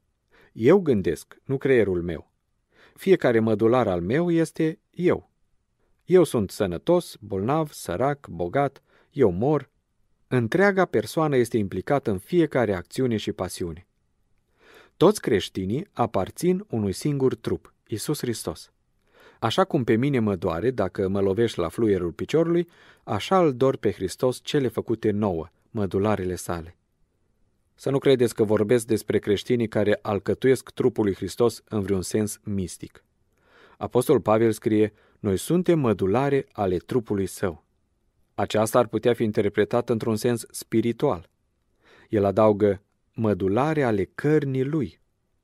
Și lucrul acesta poate fi spiritualizat. Ce nu poate spiritualiza un exeget? Ca să fie sigur, el accentuează sensul. Noi suntem mădulare ale trupului lui, carne din carnea lui și os din oasele lui. Efeseni 5,30 Eu sunt mădular al trupului său. Sunt implicat în tot ceea ce i s-a întâmplat și îi se întâmplă lui. Am fost răstignit și îngropat cu el. Acum sunt cu el în locurile cerești. Voi reveni cu el în slavă. El este cu mine în fiecare zi. Luther spunea pe bună dreptate, creștinul este Hristos. Mă identific cu el și el cu mine. Știind că sunt încoronați împreună cu Isus, creștinii n-au de ce să se teamă, pentru că frica, dușmanul cel mai mare al sufletului, a dispărut. Suntem liniștiți în toate lucrurile. Când înaintăm în vârstă, nu trebuie să ne întrebăm ce vom face când vom fi bătrâni, ci ce va face Dumnezeu cu noi la vârsta noastră înaintată. Dacă numărul anilor tăi este mare, el va face ca anii să fie împodobiți de fapte mari. Când ești încoronat cu Isus, nu te mai îngrijorezi de ceea ce se va întâmpla. Îți urmezi în liniște îndemnurile, știind că legea lui Dumnezeu este scrisă în noua ta inimă. Știi că Dumnezeu este acum Tatăl tău, așa cum a fost și pentru Domnul Isus, și că El îngrijește de fiecare amănunt al vieții tale. În Exod 12, versetul 3, 8 și 9, Dumnezeu poruncește ca de Paște, evreii, poporul lui ales, să mănânce un miel. Mielul poate fi pregătit în multe feluri. Poate fi fript, prăjit, fiert, copt, dar cel mai bun fel este friptura de miel. Și vedem în versetul 9 că Dumnezeu se îngrijește chiar și de amănuntul acesta și recomandă cum trebuie să fie pregătit mielul pentru a fi mai gustos. El se comportă ca și când ar fi un ospătar șef dintr-un mare restaurant, care dorește să recomande un meniu gustos clienților săi. De aceea el a zis să fie fript la foc. Exod 12 cu 9. Când te știi susținut de un asemenea Dumnezeu, totul în jur devine frumos. Fiind încoronat cu Isus, poți duce o viață plină de dragoste. Nu riști nimic dacă iubești fără ca tu să fii iubit. În felul acesta ne-a iubit pe noi Hristos. Deși disprețuit și părăsit de toți, El totuși a devenit Domnul nostru. Dacă ai ajuns la acest punct în viața ta, rămâi așa. Un oarecare fiu era un mare iubitor de natură. Cu mare greutate a reușit să-l convingă pe tatăl său să se urce pe un deal în timpul unei plimbări. Din vârful dealului, fiul a exclamat foarte emoționat. Privește, tată, ce frumos este jos în vale! La care tatăl a răspuns cu supărare, M-ai făcut să mă urc așa de sus numai ca să mă faci să văd cât de frumos este în vale? Nu te uita înapoi. Nu te uita la valea din care ai venit. Încoronat împreună cu Isus, ai ajuns la cel mai înalt vârf. Rămâi acolo și privește în sus. Dacă crezi în Isus cel încoronat, poți primi tot ceea ce îți aduce viața de fiecare zi, deoarece zilele tale sunt rânduite mai dinainte de un Dumnezeu iubitor. În Ioan 18, versetul 31 și 32, citim că evreii nu voiau să-l omoare pe Isus după legea lor, care prevedea pedeapsa prin omorârea cu pietre. Voiau mai degrabă să fie răstignit. Ei credeau că fac lucrul acesta din propria lor dorință. Nu-și dădeau seama că hotărârea lor fusese predestinată. Ei strigau, răstignește-l! Astfel că cuvintele lui Isus au putut fi împlinite după vorba prin care arătase cu ce moarte avea să moară. Așa că și toate întâmplările din viețile noastre sunt predestinate.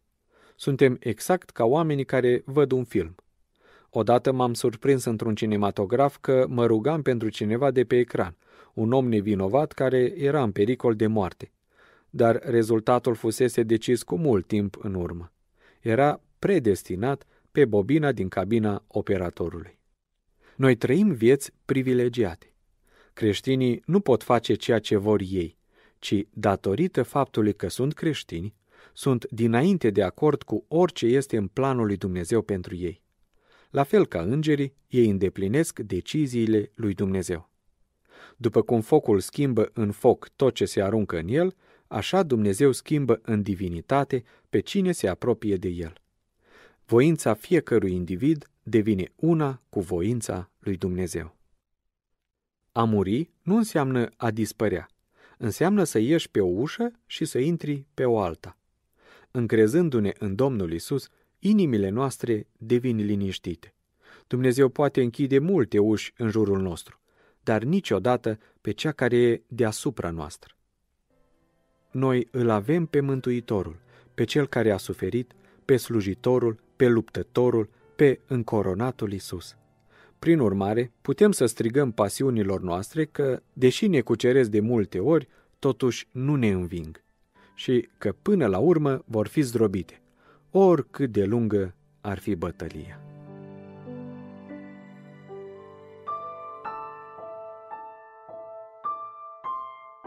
Ce ar trebui să fac ca să am o viață biruitoare? Mai întâi, această întrebare nu are loc în religia creștină. Nu există răspuns la ea, pentru că întrebarea este greșită. Orice ai face, tot nu vei putea plăti niciodată darurile lui Dumnezeu. Cât ai plătit pentru faptul că ai ochi? Creștinul spune simplu. Am primit nenumărate daruri și am încredere că cel care a fost atât de darnic până acum cu mine va continua să-mi ofere și altele. Și tot el îmi va da și biruința. De asemenea, creștinul se ferește să ceară ceva care nu este după voia lui Dumnezeu.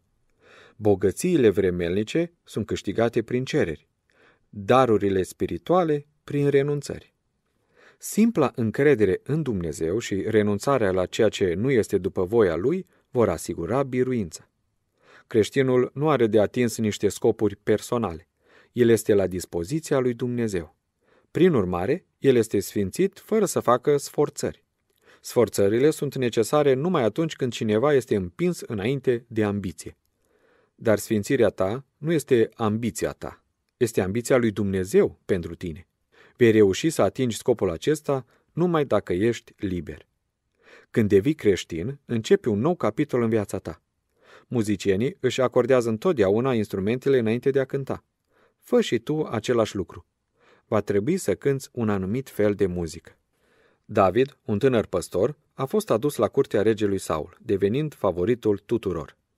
Odată, când toți curtenii erau adunați, el a cerut permisiunea regelui să cânte la harpa care se afla lângă tronul lui. Regele i-a spus, n-are rost. Au mai cântat și alții și n-a mers. Produce numai dezacorduri. David a insistat. Când a atins corzile harpei, s-a auzit o muzică atât de plăcută, încât toți au izbucnit în lacrimi. Corzile fremătau la atingerea mâinilor lui. Atunci regele l-a întrebat, cum se face că alții n-au putut să cânte la harpa aceasta și tu ai putut? David a răspuns. Toți ceilalți au vrut să cânte propriile lor cântece, dar harpa a refuzat. Eu am cântat propriul ei cântec. I-am adus aminte de vremurile frumoase când era copac în pădure, când păsărelele ciripeau în ramurile lui, iar frunzele lui se scăldau în soare. Și ați auzit veselia harpei. Apoi i-am exprimat mila mea pentru suferințele prin care a trecut în acea groaznică zi când oamenii au doborât copacul. Dar moartea lui n-a fost în zadar, pentru că din acest lemn a fost făcută o harpă la care putem cânta laude lui Dumnezeu. Și harpa s-a bucurat când și-a înțeles chemarea. Când va veni Mesia, mulți vor încerca să cânte la harpa lui propriile lor cântece. Rezultatul va fi o muzică foarte urâtă. Dar vor fi și aleșii săi, care vor cânta cântecele sale, cântecul slavei sale veșnice, cântecul umilirii sale, de a se naște într-un grajd, cântecul vieții sale pline de durere, cântecul Golgotei, cântecul învierii și înălțării la cer. Acordează-ți instrumentul pentru a cânta cântecele lui Dumnezeu. În pilda neghinei, Isus ne învață că Satan poate să limite pe Dumnezeu. El poate semăna neghină printre grâul cel bun, iar când firele răsară, este foarte greu să deosebești pe unele de altele. Niciodată să nu te încrezi în propria ta judecată în probleme de credință.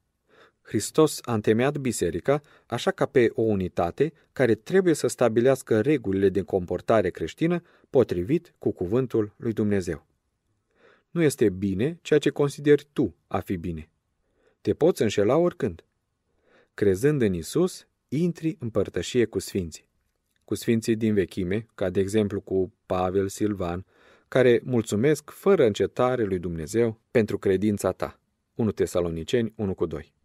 Ești în părtășie cu sfinții din toate timpurile, la fel și cu cei care sunt contemporani cu tine. Ți-am spus să-i lași pe apostoli ca să poți veni la Isus. De îndată ce ești al lui, îi poți căuta și pe apostoli. Biserica are un cod al regulilor de comportare, care nu este fixat pentru toate problemele.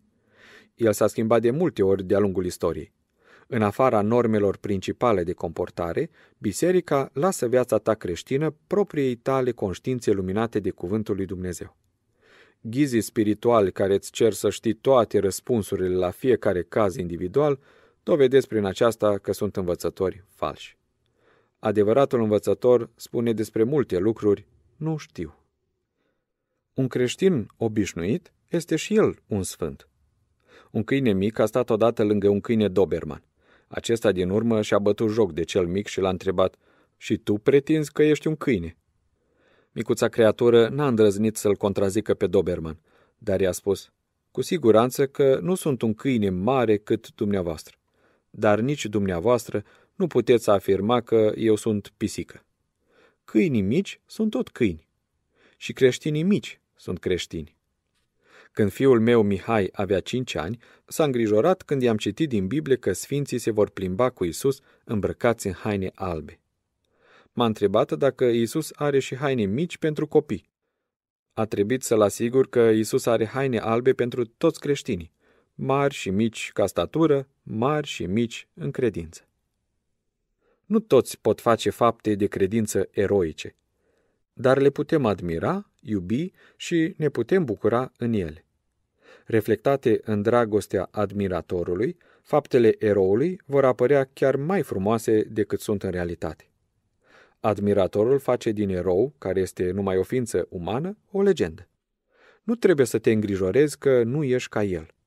Un melc mic și un iepure pot merge pe același drum și să ajungă la aceeași țintă. S-ar putea să-ți ia mai mult timp, dar față de erou, ai avantajul unei perseverențe mai mari. Fiecare creștin este numit sfânt. Dacă nu poți mai mult, fi un melc sfânt. Într-un anumit sens, un embrion este deja un om. Ești un artist mare numai dacă ai darul acesta înainte de a desena prima linie. Un creștin îl are pe Hristos în el, și când face primii pași, dar și când este matur în credință. Să nu-ți fie frică de marile cerințe ale Bibliei. S-ar putea să te copleșească, de exemplu, aceste cuvinte ale lui Isus. Fiți desăvârșiți după cum și Tatăl vostru cel ceresc este desăvârșit. Aceste cuvinte exprimă o dorință. Care profesor de muzică n-ar vrea ca toți elevii săi să devină viitori Wagner sau Beethoven? Dar viața nu lucrează în felul acesta. Nimeni nu devine geniu prin voință și nici sfânt excepțional. Spurgeon obișnuia să povestească o istorioară.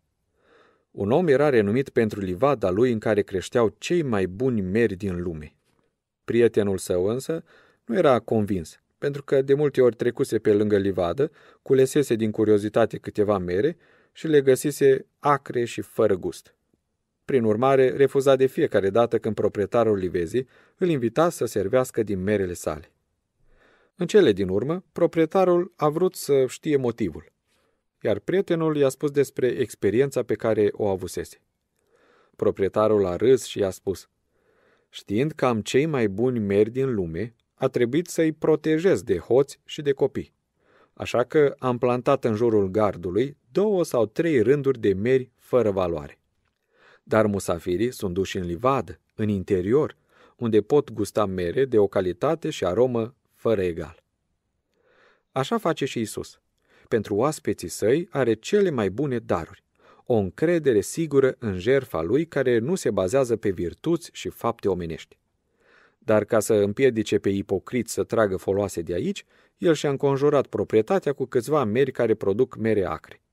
Este un măr acru pentru cei care nu sunt printre aleșii lui Dumnezeu, când li se spune că trebuie să fie desăvârșiți, după cum și Tatăl cel Ceresc este desăvârșit.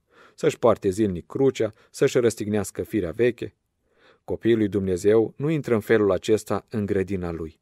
Ei intră pe poarta regală și sunt fericiți să fie salvați fără niciun efort din partea lor, ci numai prin ceea ce a făcut Isus pentru ei.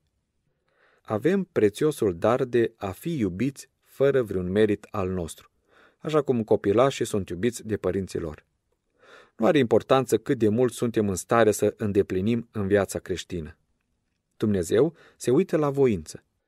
Fiecare creștin este un model al binelui și al adevărului. Așa este el în intențiile sale. Idealurile sale sunt înalte. El vrea întotdeauna să fie vârful. Noi încercăm să facem toate lucrurile bine ca să-i facă plăcere lui Dumnezeu. De asemenea, mai știm că avem un Dumnezeu care înțelege slăbiciunile noastre. Începutul evlaviei în noi ne face plăcuți lui Dumnezeu. Avem timp să ne îndeplinim idealurile noastre. Creștinii nu se grăbesc niciodată. În Matei 27 cu 52 este scris că atunci când a murit Isus, mormintele s-au deschis și multe trupuri ale sfinților care muriseră au înviat.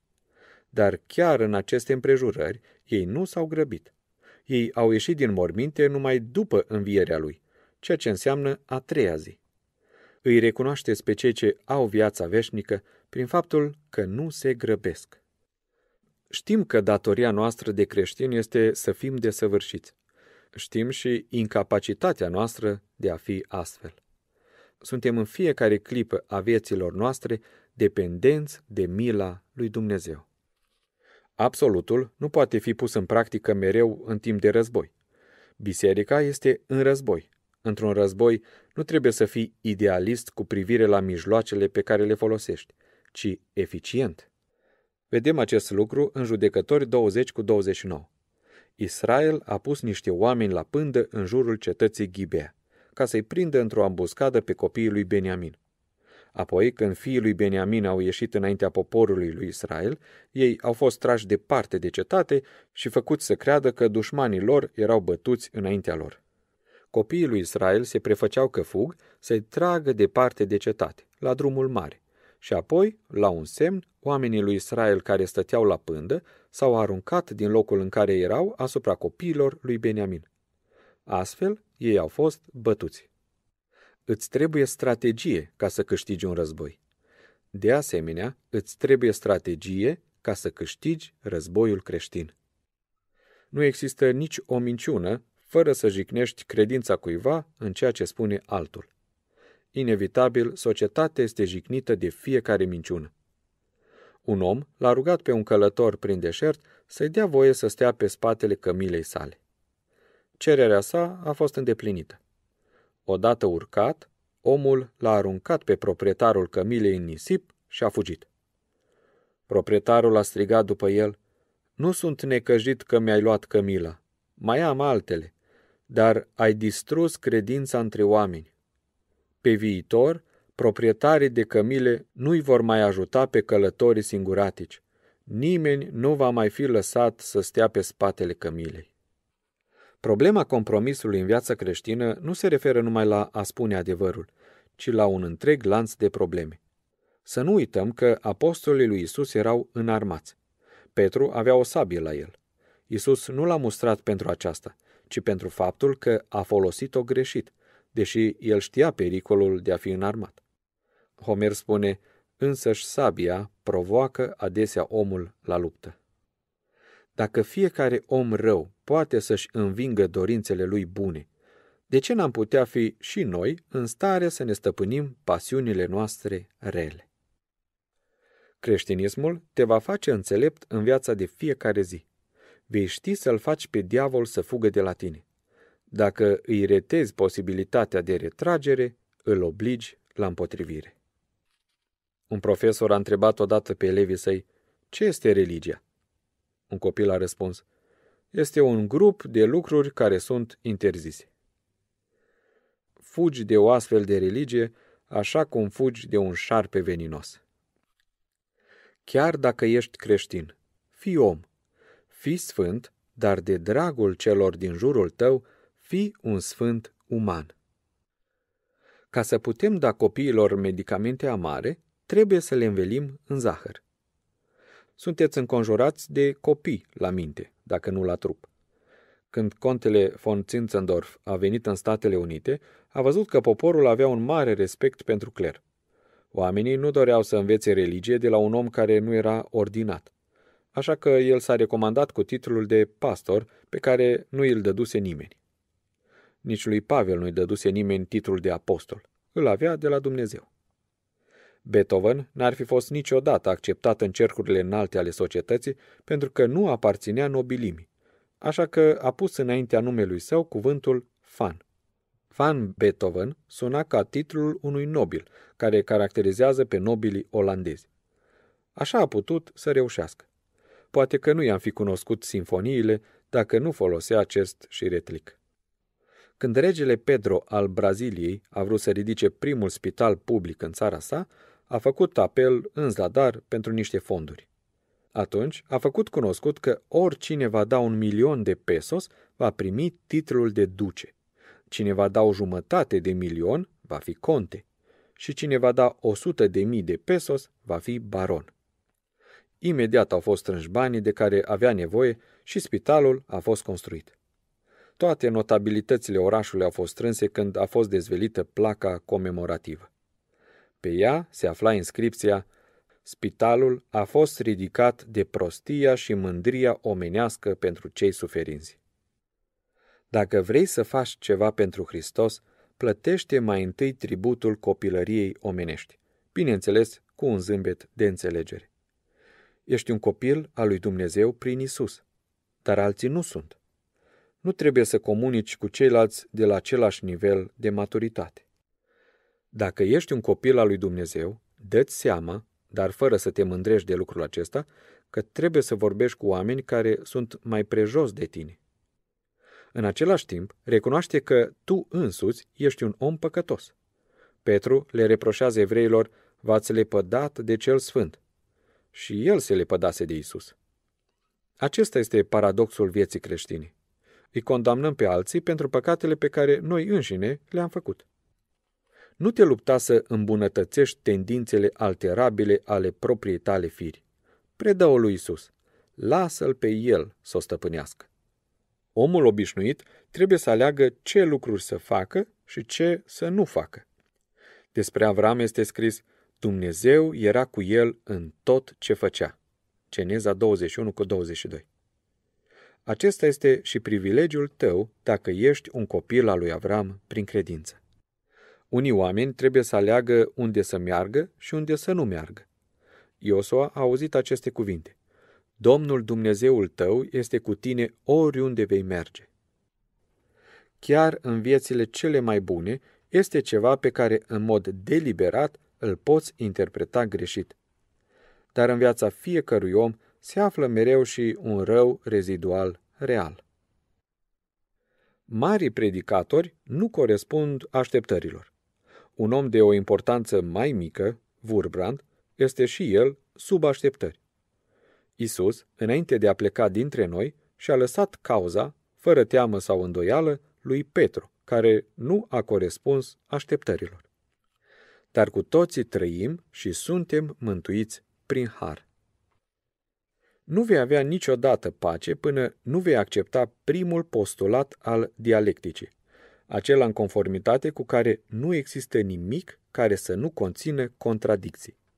Nu există nicio matematică fără plus și minus, nicio întâmplare fără acțiune și reacție, nici o electricitate fără pol pozitiv și negativ, niciun război fără atac și apărare, niciun sfânt fără păcate și niciun păcătos fără calități. Acceptă-te cu contradicțiile tale. Luther spunea că fiecare creștin este în același timp și drept și păcătos. Un om care a ajuns la țintă și unul care tinde spre ea.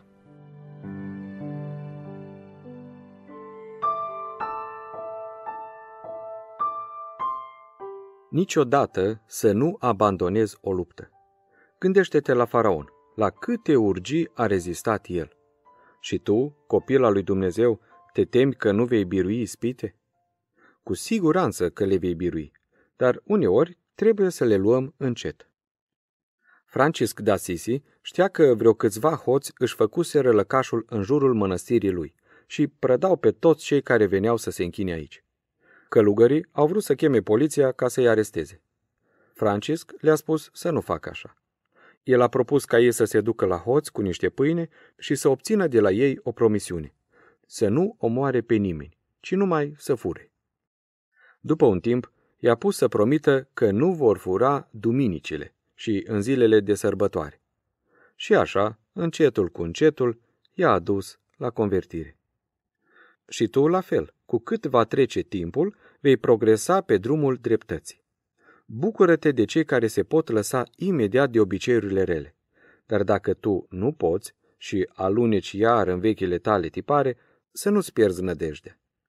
Trebuie să-ți dai seama că pentru tot restul vieții tale depinzi mai mult de faptul că Isus îți îndreaptă greșelile decât de faptul că tu încerci să nu le săvârșești. Toți suntem oameni și învățăm numai din greșelile pe care le facem. Fii atent să nu cazi în păcatul mândriei. Este ușor să devii mândru când ești încoronat împreună cu Isus. Augustin scrie, oricare alt păcat, în afara mândriei, este rezultatul unei lucrări rele. Dar trăsătura caracteristică a mândriei este aceea că ea anulează chiar faptele bune. Dumnezeu a suferit nespus de mult pentru a păstra sufletul tău smerit. Mulțumește-i pentru aceasta. Lăsând la o parte mândria, creștinul nu este criticul celorlalți oameni. Shakespeare scria, nu voi mustra nicio făptură din lume decât pe mine însumi, la care știu multe greșeli. Încearcă să fii bun, evitând acel fel de bunătate convențională care este negativă, critică, îngustă și întru totul condamnabilă. Este de datoria creștinului să se deosebească de ceilalți oameni el trebuie să fie nepărtinitor în aprecierea greșelilor lor.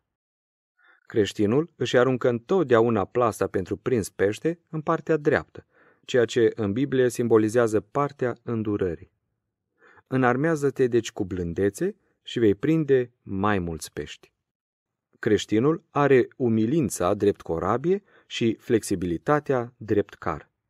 Ca să folosim cuvintele lui Shakespeare, un creștin transformă îndărătnicia soartei într-un stil liniștit și plăcut. În ceea ce lumea numește indignare justificată, el recunoaște strălucirea înțelepciunii satanice. Împotriva a ce ești cuprins de indignare? Împotriva păcatelor oamenilor?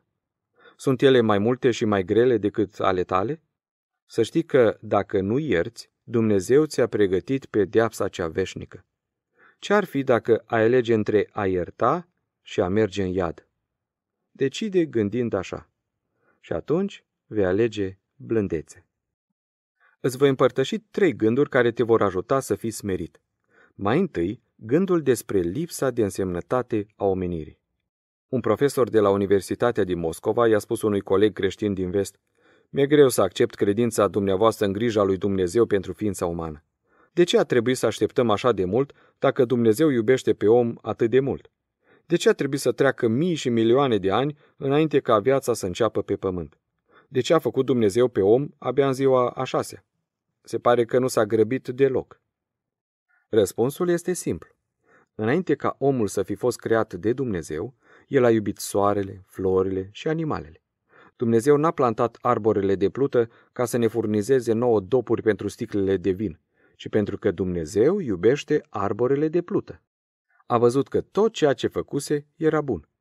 Dumnezeu s-a plimbat prin grădina Edenului, plantată de el, înainte de a fi Adam și Eva. El s-a bucurat de parfumul crinilor și frumusețea trandafirilor. Al doilea gând este despre propria ta lipsă de însemnătate. Eram pastorul unei biserici care creștea. Eram autor de cărți. Înainte de a fi închis, m-am considerat o persoană importantă. Am lucrat pentru Consiliul Mondial al Bisericilor. Am luat parte la acțiuni filantropice, etc. Nu-mi puteam imagina ca biserica din România să se poată descurca fără mine. Când am ieșit din închisoare după 14 ani, am văzut că biserica progresase foarte bine și fără mine și că alții scriseseră cărți mai bune decât ale mele. Deci nu eram chiar atât de necesar cât mă consideram eu. Acest lucru poate fi valabil și în cazul tău. Al treilea gând este despre importanța fratelui tău. Clement din Alexandria scria, Acela care îl vede pe fratele său, îl vede pe Dumnezeu. Acest punct de vedere te așează imediat mai jos decât fiecare creștin cu care nu ești de acord. Chiar dacă este cel mai slab creștin, apleacă-te cu respect în fața lui și vezi pe Dumnezeu în el. El este stăpânul, iar tu ești robul. Creștinul vorbește puțin. Domnul ne-a dat o limbă și două urechi. Să eliminăm cuvintele nefolositoare și să ne folosim limba pentru a lăuda pe Creatorul celor două urechi ale noastre. Nu fi atât de blând încât să renunți la îndeplinirea scopului tău. În pilda polilor, vedem că Domnul Isus nu lasă ca atingerea scopurilor sale să depindă de încuvințarea oamenilor. El se asemuie cu un om de neam mare care a primit o împărăție de la un conducător al unei țări îndepărtate. Nu a primit-o prin votul cetățenilor. Aceștia îl urau. El mai avea și niște servitori leneși. Pe vrăjmașii care n-au vrut ca el să stăpânească peste ei, i-a omorât. El trebuie să domnească, pentru că el este supremul bine. Pe măsură ce te identifici cu el, vei fi neclintit, astfel încât credința ta va triumfa cu orice preț. Viața ta trebuie să fie asemenea Domnului Hristos. Isus nu a avut unde să-și pună capul. Poți avea o casă, dar numai ca o necesitate nu ca un obiect al dorințelor tale de posesiuni. În grădina zoologică din San Diego, California, sunt închise păsări din Alaska care se uită întotdeauna spre nord. Așa ne uităm și noi spre cer, spre adevărata noastră casă. Creștinul trebuie să aibă un mare principiu călăuzitor, dragostea. Trebuie să iubim pe aproapele nostru, chiar dacă ne fură timpul, chiar dacă împrumută ceva de la noi și nu ne înapoiază, chiar când ne vorbește de rău pe la spate. Astfel iubește un creștin, fără să ceară să fie și el, în schimb, iubit. Nu-ți petrece puținele zile ale scurtei tale vieți pământești, amestecându-te în treburile celorlalți, decât dacă este implicat un bun comun. Nu permite ca atenția ta să fie distrasă de la Hristos. Acceptă simplul fapt că cineva nu are aceeași părere ca tine. Este normal. Faptul că nu acționezi în conformitate cu dorința lor poate fi un izvor de bucurie pentru tine. Feriți-vă de vrăjbile personale cât puteți de mult. Împărăteasa din Seba a venit în vizită la împăratul Solomon și i-a spus, Înțelepciunea ta este renumită în lumea întreagă. Îngăduiem să văd cum judeci poporul. A doua zi, două tronuri au fost puse în curtea palatului și părțile certate au venit la judecat. Mai întâi au venit doi evrei, fiecare cu mâna în barba celuilalt, lovindu-se cu picioarele și insultându-se reciproc. După ce au fost despărțiți de servitori, regele i-a întrebat pentru ce se ceartă. Unul din ei a spus, O, rege, am vândut acestui pungaș doi ari de pământ, pe care el mi-a plătit. Cu asta afacerea era încheiată. Dar, a doua zi, când el a săpat adânc în pământ, a găsit o comoară imensă alcătuită din aur și bijuterii. Cu siguranță că este al lui, pentru că eu i-am vândut pământul cu tot ce conține el. A fost greșeala mea că nu am găsit comoara înainte de a vinde pământul. Și ce credeți? Acest excroc vine la mine și îmi spune, Dragă frate, te-ai înșelat vânzându-mi pământul pentru un nimic. Înapoiază-mi banii pe care ți i-am dat, iar tu ia-ți înapoi și comoara și pământul. Acum el ar vrea să anulez târgul și apoi să fiu pedepsit de Dumnezeu pentru nedreptate, pentru că eu nu mai am niciun drept, nici asupra pământului, nici asupra comorii. A fost o vânzare definitivă. Și omul îi strigă celuilalt, înșelătorule, comoara este a ta. Regele i-a cerut și celelalte părți să vorbească. Acesta a început să se milogească astfel. Împărate, ai milă de sufletul meu. Eu n-am cumpărat decât o bucată de pământ, nimic mai mult. N-am cumpărat o comoară. Nu pot ține o comoară care valorează milioane pentru câțiva bani de argint pe care i-am plătit numai pentru pământ. Ar fi nedrept și vreau să fiu în fața lui Dumnezeu un om cinstit. Spuneți-i acestui om că este a lui comoara și numai a lui. Împărătesei din Seba nu-i venea să creadă urechilor. Împăratul l-a întrebat pe primul evreu, Ai copii? Am o fată de 18 ani, a răspuns el. L-a întrebat și pe al doilea, Dar tu? Eu am un băiat de 20 de ani. Apoi împăratul a rostit sentința.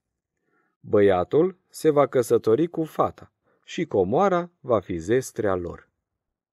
Cei doi s-au îmbrățișat fericiți. Împărăteasa a spus, N-am văzut niciodată o ceartă în care fiecare parte să dea dreptate celelalte. Cum se face că la voi se întâmplă astfel de lucruri? Împăratul a răspuns, nu știi că suntem poporul ales al lui Dumnezeu?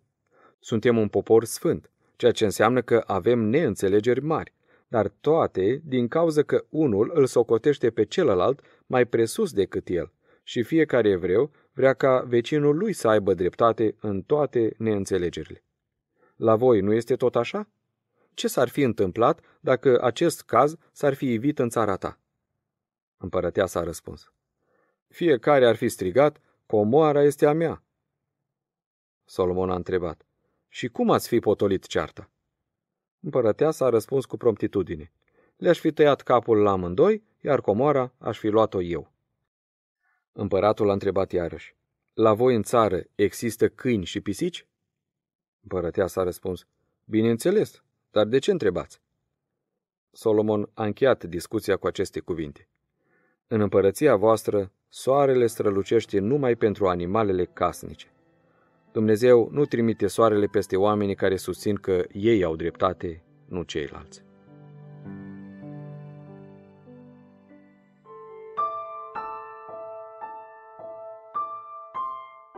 Isus ne învață cum să iubim pe aproapele nostru.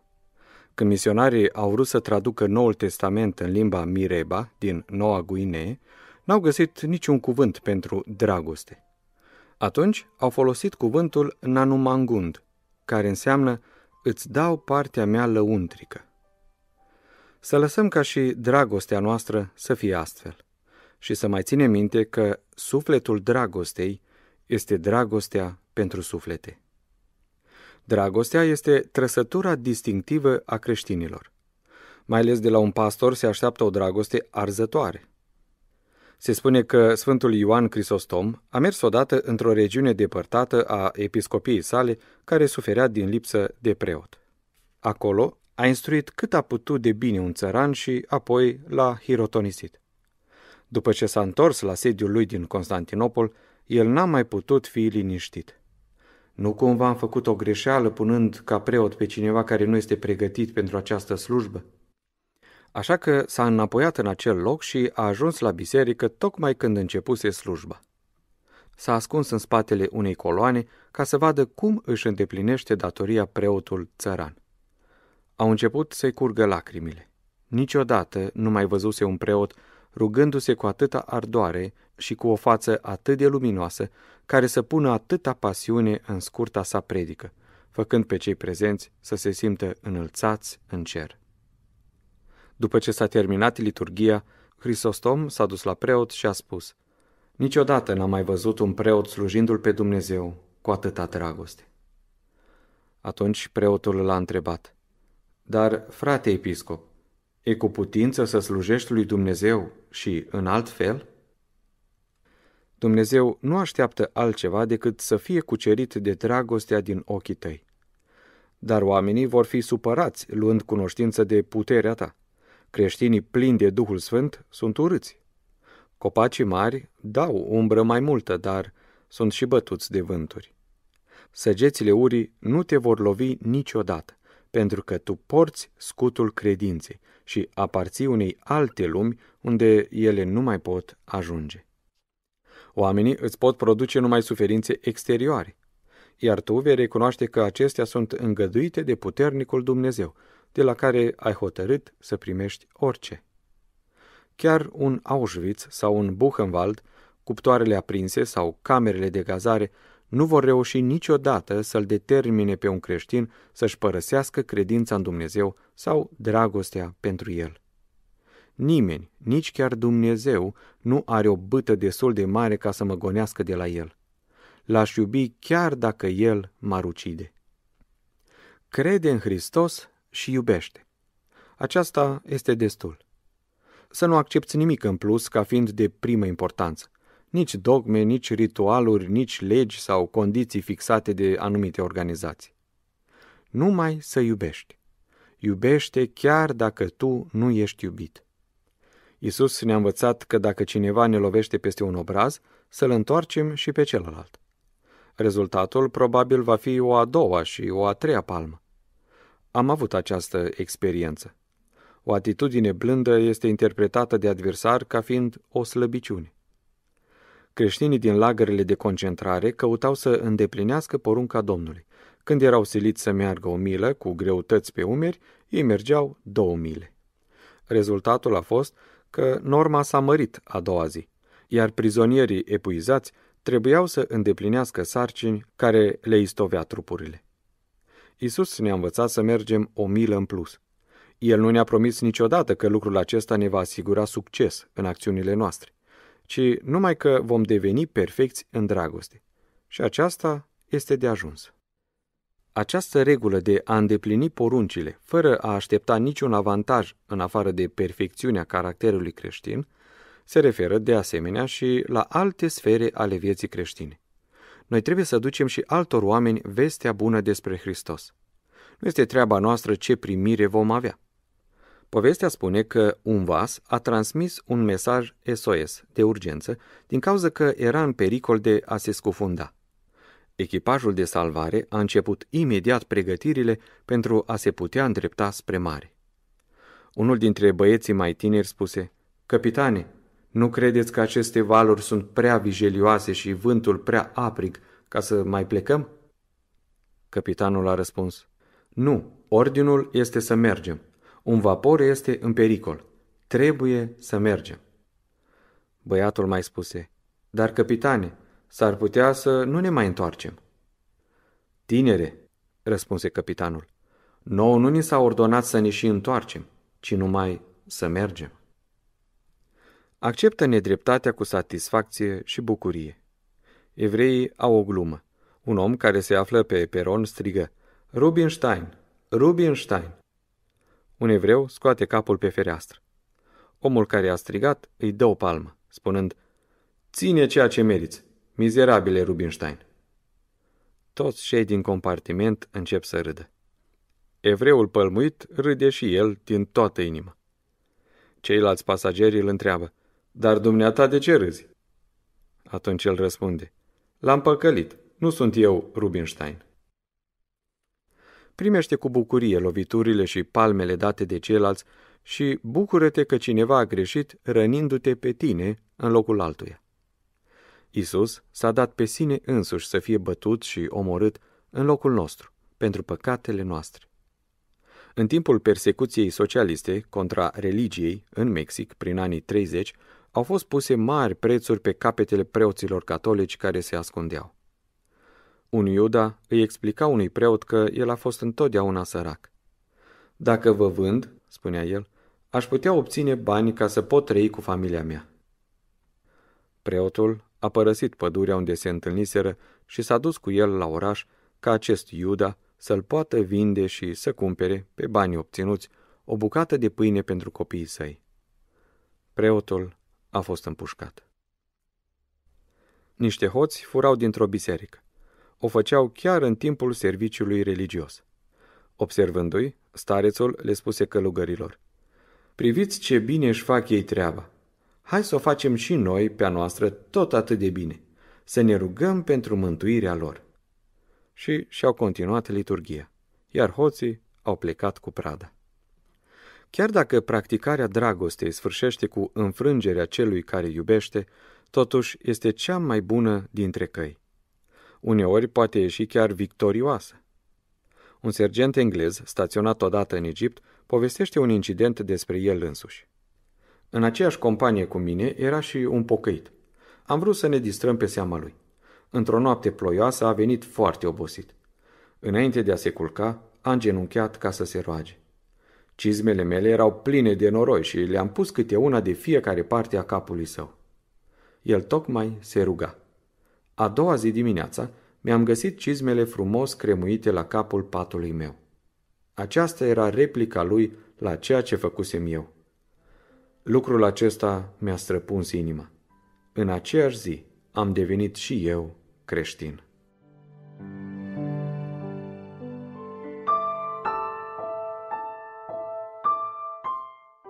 Citește și trăiește cele scrise în Biblie. Nu lua seama la criticile care îi se aduc, oricât de savante ar fi. Nu critica Biblia, ci lasă-te tu critica de ea. Într-o expoziție de artă modernă, în locul unei picturi, se afla o pânză goală. Sub ea era titlul Vacă la păscut. Un vizitator l-a întrebat pe artist, Ce înseamnă titlul acesta? Nu văd nicio iarbă. Artistul a răspuns, Păi, vaca a mâncat toată iarba.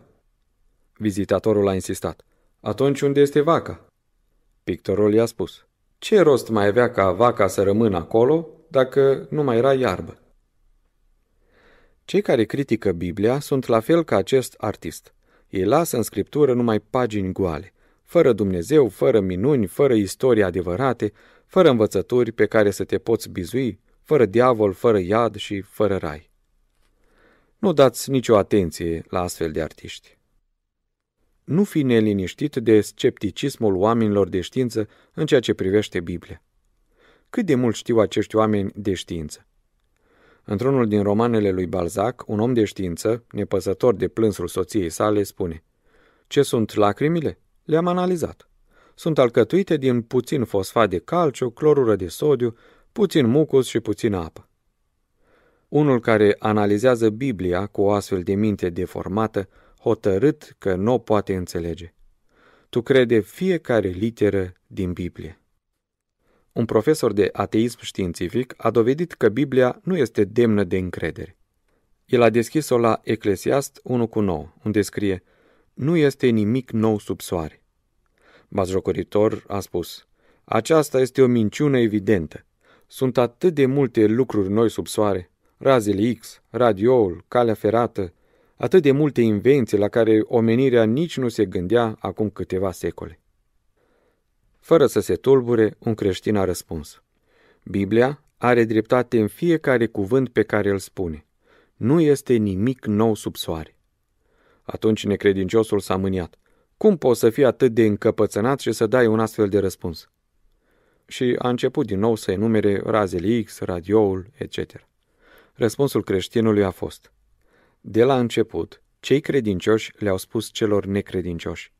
Nu-L puteți înșela pe Dumnezeu cu o religie exterioară. Dumnezeu se uită la inimă. Necredincioșii erau siguri de ei înșiși. Dumnezeu nu poate vedea inima pentru că este acoperită cu carne, oase și piele. Este bine ascunsă. Așa că Dumnezeu l-a făcut pe Röntgen să descopere razele X, cu ajutorul cărora noi oamenii putem vedea părțile interioare. Dar ele nu sunt ceva nou, ele sunt niște ilustrări moderne ale unui adevăr pe care noi, credincioșii, îl cunoaștem de mulți ani. Dumnezeu se uită la inimă. Necredinciosul nu s-a așteptat la aceasta. El a întrebat, dar radioul? tot atât de vechi ca și omenirea, a fost răspunsul. De la început, credincioșii le-au spus celor ce trăiau în păcat, fiți atenți la vorbirea voastră, Dumnezeu aude fiecare cuvânt. Dar necredincioșii au răspuns bazjocoritori, cerul este departe de noi. Eu n-aud o dezbatere din camera alăturată. Cum poate auzi Dumnezeu în cerul lui, care este atât de sus, cuvintele mele, în special pe cele rele pe care le șoptesc. De aceea, Dumnezeu a poruncit lui Marconi să construiască un radio prin care cei din Anglia pot auzi până și tusea crainicului din Moscova. Toate acestea ne ajută la trezirea sufletului pentru adevărul etern. Tu nu-l poți vedea pe cel care conferențiază la radio. Este foarte departe. Așa și Dumnezeu în cer îți poate auzi fiecare cuvânt. Necredinciosul nu mai știa ce să spună. Poți să-mi dovedești că și calea ferată nu este nouă? Bineînțeles. Noi întotdeauna am avertizat, pocăiți-vă astăzi, mâine va fi prea târziu. Iar oamenii mereu amânau pocăința lor. Așa că Dumnezeu a făcut ca Stevenson să creeze calea ferată. Ca să evite ciocnirile, fiecare tren trebuie să plece la minutul fixat. Dacă ajungi cu un minut mai târziu, trenul va dispărea înaintea ochilor tăi. Un exemplu bun pentru vechiul adevăr că timpul când trebuie să te pocăiești este totdeauna acum. În clipa următoare poți avea un atac de cord. Astfel, profesorul de ateism a fost făcut să-și dea seama că nu-i de glumit cu Biblia.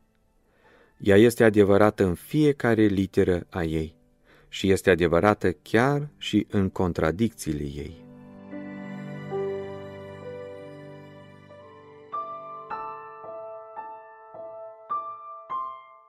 Roagă-te neîncetat.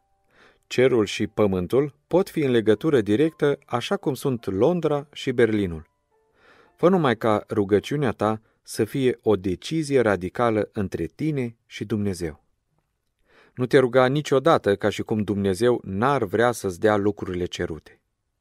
Nu există rugăciune fără răspuns. În timpul celui de-al doilea război mondial, creștinii din Germania și Marea Britanie se rugau pentru victorie. Rugăciunile fără răspuns ale germanilor au fost un răspuns la rugăciunile englezilor. Trăim într-o lume împărțită în națiuni, rase, clase, partide, religii și interese individuale contradictorii. De ce trebuie să prevaleze înaintea lui Dumnezeu tocmai interesul tău? Dacă după ce te-ai rugat pentru o victorie ești înfrânt, bucură-te. Înseamnă că rugăciunea adversarilor tăi au fost primite de Dumnezeu. El este tot un Dumnezeu care ne ascultă rugăciunile. Puneți viața în slujba lui Dumnezeu. Să nu spui că n-ai putere spirituală sau n-ai calificare. Un băiat a dat Domnului Isus cinci pâini și doi pești. Isus i-a înmulțit. Dar dacă băiatul n-ar fi avut nimic? O astfel de posibilitate nu există. În Biblie, cuvântul zero sau simbolul lui matematic zero nu există. Biblia este construită din punct de vedere matematic. Fiecare literă din alfabetul evreiesc și grecesc corespunde unei figuri. Fiecare cuvânt are o valoare numerică. Fiul meu și-a dat teza de doctorat la Universitatea Luterană din Paris, având ca obiect de studiu matematica în Biblie. Dar Biblia nu conține nici cuvântul zero, nici semnul zero, ceea ce este semnificativ când îți dai seama că strămoșii caldeeni ai evreilor aveau deja scris pe zero sub forma unui cerc. Cuvântul zero vine din termenul caldeu zer. Nimeni nu este un zero înaintea lui Dumnezeu. Nimeni nu este fără un dar. Darul tău este poate umilința de a crede că n-ai niciunul. Niciodată să nu te plângi de crucea ta. Un creștin s-a plâns odată lui Dumnezeu de crucea sa. Dumnezeu l-a dus în magazia lui și i-a spus, ești liber să-ți alegi ce cruce îți place. Una era frumoasă, din aur, dar era foarte grea. O alta era ușoară, dar foarte colțuroasă, încât îți rănea umărul. În cele din urmă, a găsit într-un colț o cruce care credea el că îi se potrivește cel mai bine. Dumnezeu i-a spus, uită-te mai bine la ea. Era chiar crucea pe care o primise de la Dumnezeu la început. Suferința este sfântă. Niciodată să nu risipești nici cea mai mică fărămitură din ea. Există o modă periculoasă printre unii tineri de astăzi. Imediat ce s-au convertit, părăsesc meseriile și studiile lor ca să devină predicatori. Lucrul acesta le atrage dușmănia familiilor lor. Alergând după alții pe care nu-i câștigă niciodată pentru Hristos, ei pierd posibilitatea să aducă la mântuire pe propriile lor rude. Rămâi pe locul tău și câștigă pentru Hristos propria ta familie. A fi misionar este o vocație rară și excepțională. Cu cât este cineva mai fidel lui Hristos, cu atât mai probabil este că va trăi în izolare intelectuală și spirituală. Aceasta nu înseamnă că nu va fi un misionar, ba încă unul deosebit. Nu trebuie să forțeze apa să curgă în jos, de pe munte la vale.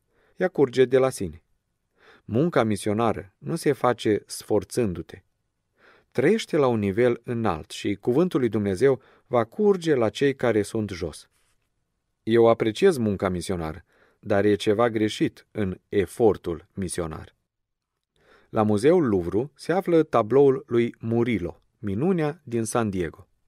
Doi nobili și un preot intră într-o bucătărie. Ei sunt foarte uimiți că toate bucătăresele sunt îngeri. Una ține o oală, alta o bucată de carne, altă fată are în mână un coș cu legume, iar o alta supraveghează focul. Dar toate fac o muncă îngerească. Nici o lucrare nu este înjositoare pentru cei ce o fac. Însuși Domnul Isus a lucrat într-un atelier de tâmplărie, el care a avut cea mai mare misiune. De aceea, nu deveniți misionari în sensul profesional al cuvântului, decât dacă aveți o chemare excepțională și clară. Mai degrabă, fii un misionar în bucătăria sau fabrica ta. Vei fi mult mai folositor acolo. Dar nu pierde niciodată perspectiva mai largă. Interesează-te de evangelizarea lumii și de dreptatea socială. Domnul Isus ne povestește o pildă despre un fiu risipitor, care a cheltuit averea tatălui său, ducând o viață destrăbălată. După multe peripeții, el s-a întors la tatăl său, care l-a primit cu dragoste, l-a îmbrăcat cu haine scumpe, a tăiat vițelul cel îngrășat în cinstea lui și i-a pus în deget un inel de aur. Fiul risipitor acum o ducea bine și asta a fost tot. Domnul Isus ne spune să nu căutăm adevărul în pildele sale. Pildele sunt pentru cei care nu pot primi adevărul. Normal ar fi fost ca tânărul care a făcut aceste lucruri să se gândească să-i restituie banii tatălui său și să încerce să-i câștige pentru Dumnezeu pe foștii lui prieteni de chefuri și de sfrâu. De asemenea, ar fi putut să mănânce mai puțin din vițelul îngrășat și să se gândească la locuitorii din țara înfometată în care el locuise un timp. Un creștin se gândește la toate aceste lucruri, ceea ce înseamnă că el se interesează de problemele evanghelistice și sociale. Dar el nu-și face iluzii despre perfecționarea societății înainte de întoarcerea Domnului Isus. Făți datoria de a mărturisi pe Hristos și de a îmbunătăți societatea, dar fi temperat în toate. Nu fi exagerat. Munca excesivă este un drog pentru cei decepționați, iar revoluțiile sunt opiul cel mai rău pentru oameni. Păstrează o balanță dreaptă între o viață modestă, preocupată de interesul propriu și o dorință exagerată de a aduce imediat la convertire o lume întreagă și de a stabili dreptatea, ceea ce este lucrarea multor generații. La rădăcina neliniștii sociale și rasiale stă nerespectarea celei de-a zecea porunci, să nu poftești. Oare îți sunt necesare mai multe lucruri decât cele pe care le ai? Mă întreb dacă sunt mulți dintre ascultătorii mei care au trăit în aceeași sărăcie și foamete ca și mine. Multă vreme, rația mea de hrană a fost o singură felie de pâine pe săptămână și zilnic o supă de coji murdare de cartofi. Nu aveam nici pantofi, nici pantaloni. Tremuram de frig, dar poți fi fericit și în astfel de condiții. Poți fi fericit chiar știind că soția ta suferă aceleași greutăți, iar copilul tău este lipsit de toate bucuriile vieții. Aceasta este ceea ce ți-a destinat misteriosul tău tată ceresc și nimic mai mult. Știu că sărăcia voluntară este un lucru, iar sărăcia impusă de exploatatori este altul. Trebuie să te opui celei de-a doua, dar ca să faci lucrul acesta cu succes, trebuie să ai putere. Niciodată nu ai atâta influență ca atunci când ești liniștit. Nu pari puternic, dar a nu părea astfel este parte din a fi puternic. Trăiește în veșnicie, nu în incidentele zilnice. Veșnicia nu poate fi tulburată nici chiar de plânsul a un milion de copii înfometați. Dacă ești așezat senin în locuri cerești, tot ceea ce vei face pentru acești copii flămânzi va aduce roade. Altfel, întreaga ta luptă va fi zadarnică. Va fi ca și lupta lui Sisif, care rostogolea o piatră mare până în vârful unui deal. De fiecare dată când cădea, trebuia să o rostogolească iarăși. Așa a fost întreaga istorie omenească. Tot ceea ce există a fost realizat de spirite liniștite, de cei care sunt mai presus de vremelnicele baloane de săpun numite viacuri, cu suferințele și bucuriile ei trecătoare. Lumea nu este numai o grădină, o creație minunată, cum spun multe imnuri religioase. Ea are și o latură urâtă. Ea va fi învinsă de lupta aprigă a celor liniștiți. Vocea liniștită, înceată, va prevala. Și păcătoșii realizează lucruri bune prin lupte sociale, reforme, revoluții și războaie. Numai că acestea nu durează. Erau doi viermi de mătase masculi care alergau după dragostea unui vierme de mătase femelă. Toți au sfârșit prin a deveni parte dintr-o cravată. Acesta este sfârșitul tuturor luptelor sociale. Luptătorii din ambele tabere devin țărână. Dedică-te sufletului tău. Alții vor veni la mântuire datorită forței contagioase a unui suflet credincios. Iar în ceea ce privește societatea omenească, lasă-o în seama celui care poartă răspunderea pentru ea. Dacă nu zidește Domnul o casă, degeaba lucrează cei ce o zidesc. Dacă nu păzește Domnul o cetate, degeaba veghează cel ce o păzește. Degeaba vă sculați de dimineață și vă culcați târziu ca să mâncați o pâine câștigată cu durere. Psalmul 127, versetul 1 și 2. De trei ori cuvântul degeaba. Desigur, multe lucruri trebuie făcute în societate, dar Livingstone, marele luptător împotriva sclaviei, marele misionar și explorator, ne-a lăsat această vorbă. Cine are credință, nu se grăbește. Noi nu ne grăbim pentru că știm că suntem nemuritori. Multe lucruri care nu sunt terminate acum vor fi terminate mai târziu. Moise l-a rugat pe Dumnezeu să-l lase să intre în țara sfântă, dar Dumnezeu l-a refuzat și Moise a murit fără să intre în ea. Au trecut vreo două mii de ani. Domnul Isus vorbește pe muntele Tabor cu Moise.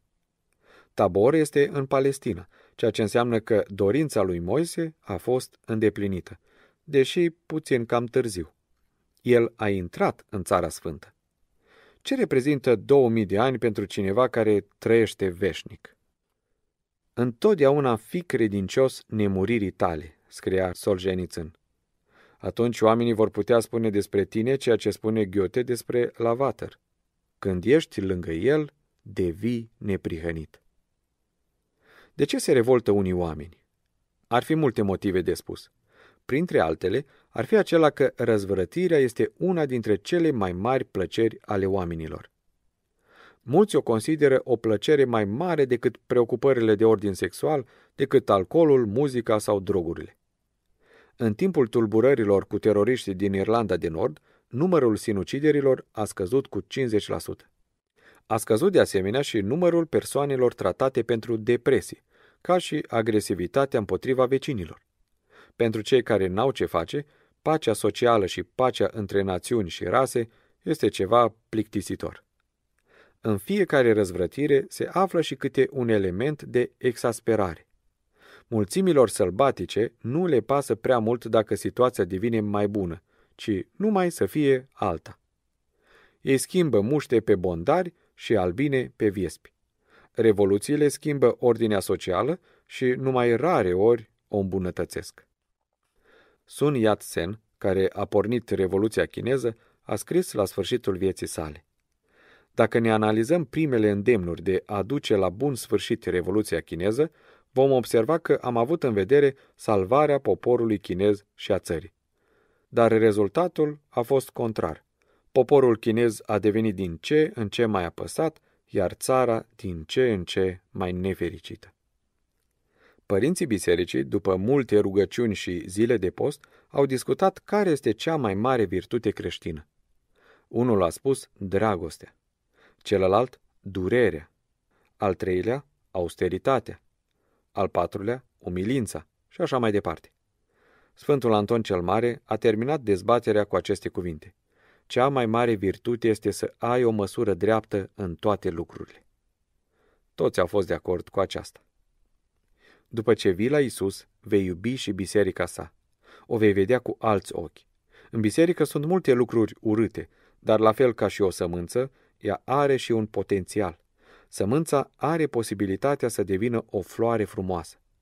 Așa poate fi și cazul celei mai decăzute biserici. Dar învață să deosebești biserica adevărată de instituțiile care îi poartă numai numele. În biserica falsă, cuvântul creștin poate înspăimânta inimi.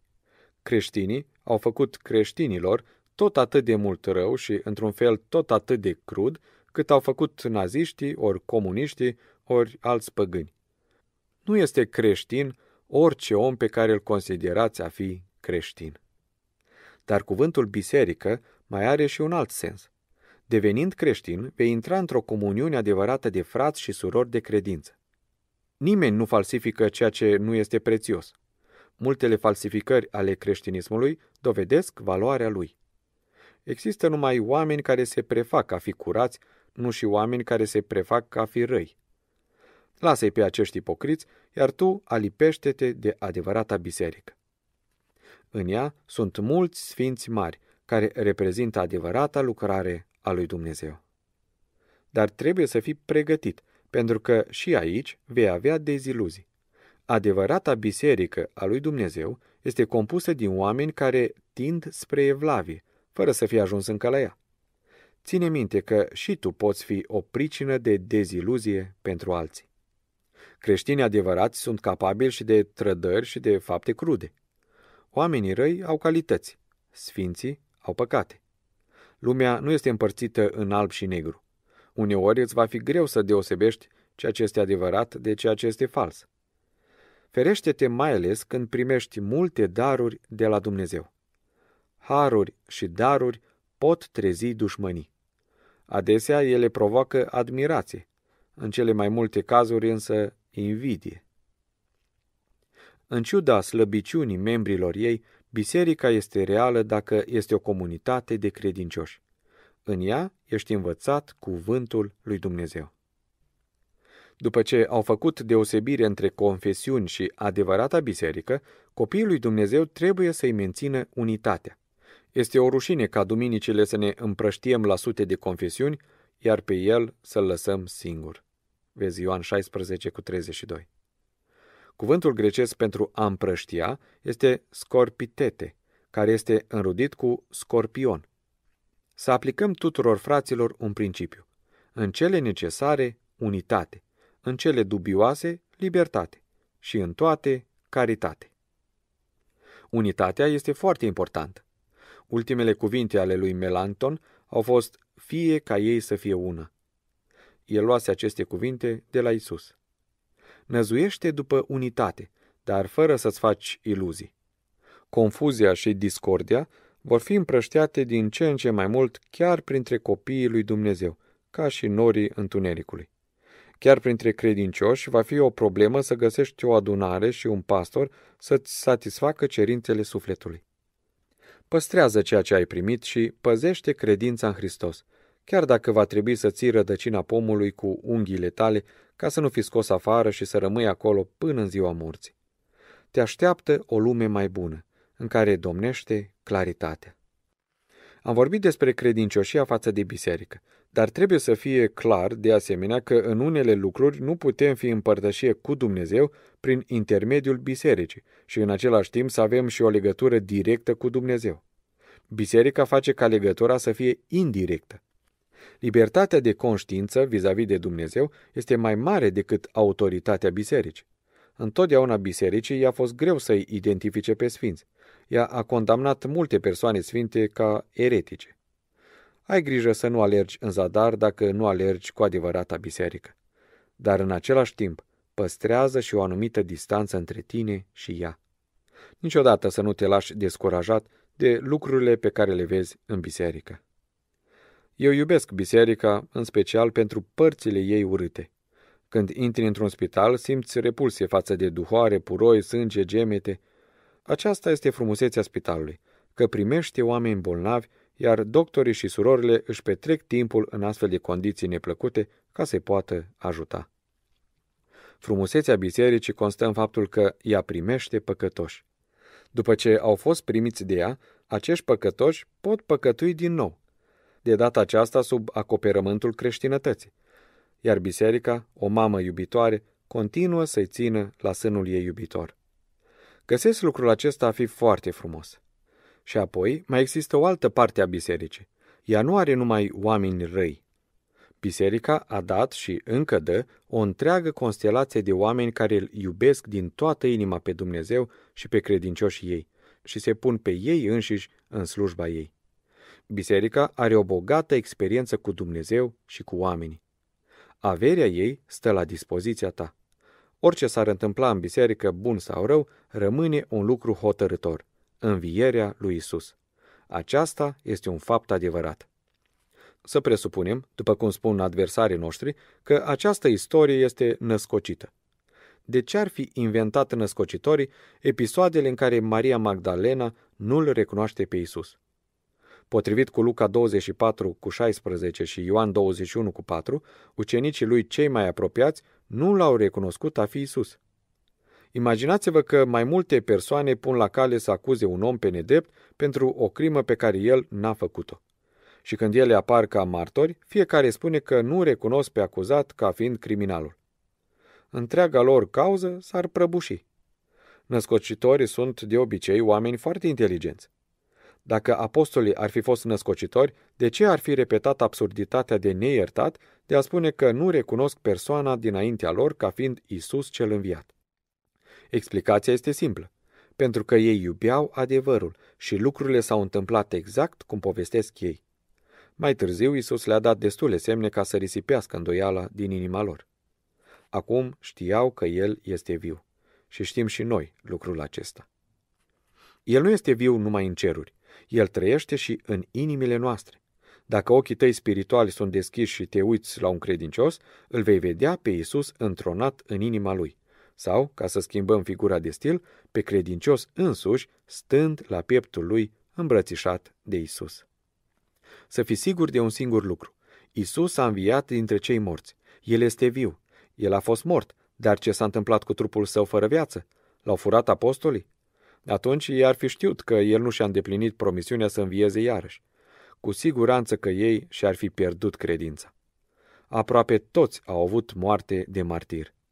Nimeni nu se lasă torturat pentru ceea ce el însuși știe că este minciună. Deci trupul lui Isus nu a fost luat de apostoli. Iar dacă ar fi fost luat de către adversari, creștinătatea nu s-ar mai fi născut. Când apostolii vesteau învierea lui Isus, Marii preoți care îl condamnaseră la moarte ar fi trebuit doar să deschidă mormântul și să arate trupul lui Isus. Cei trei mii de oameni care au fost convertiți într-o singură zi în Ierusalim, o grea lovitură pentru farisei, n-ar fi acceptat niciodată să creadă că Isus a înviat dacă i-ar fi văzut trupul întins în mormânt. Petru ar fi fost umilit și discreditat dacă s-ar fi dovedit că ceea ce spune este o minciună. Nici prietenii și nici dușmanii lui Isus nu luaseră trupul lui, pentru că a treia zi el nu mai era un cadavru, ci viu. El este și astăzi viu și așa va fi veșnic. S-ar putea să ai necazuri în lume și chiar în biserică, dar Isus cel viu îți va da bucurie în mijlocul lor. Când ai părtășie cu Isus, îți este foarte ușor să cunoști atitudinea corectă pe care trebuie să o aibă creștinul față de problemele vieții sale. Trebuie să ai de-a face cu oamenii, să-i asculți, să le răspunzi, dar lasă-i în pace cât poți de repede. Un singur lucru trebuiește, a spus Isus, iar Maria Magdalena și-a ales partea cea bună. S-a așezat la picioarele lui Isus și a ascultat cuvintele lui. Ea avea nevoie numai de Isus, chiar atunci când el era răstignit, chiar atunci când el era un cadavru. Ea îl iubea numai și numai pe el. Un păstor i-a spus unei privighetori, cântă. Privighetoarea i-a răspuns, broaștele fac prea mult zgomot, îmi iau plăcerea cântatului. Tu nu le auzi? Păstorul i-a spus, bineînțeles că le aud, dar numai tăcerea ta mă face să le aud. Umblă prin lume cântând cântecele lui Isus. Este spre rușinea ta dacă se aud atât de multe cuvinte de ură și de necredință. Dacă ești credincios lui Hristos și bisericii sale, după ce îți vei termina viața pământească, raiul va fi onorat să te primească. Dar tu ai o chemare mai înaltă decât raiul și Ierusalimul ceresc. Ești chemat să stai cu Isus pe scaunul său de domnie, de pe care se creează și se conduc universuri, după cum și Isus a biruit și a stat cu Tatăl său pe scaunul lui de domnie. Apocalipsa 3 cu 21 Raiul va fi pentru tine numai ca un timp de odihnă. Sarcini divine te așteaptă, pentru că vei fi devenit asemănător cu Hristos, părtaș al firii dumnezeiești.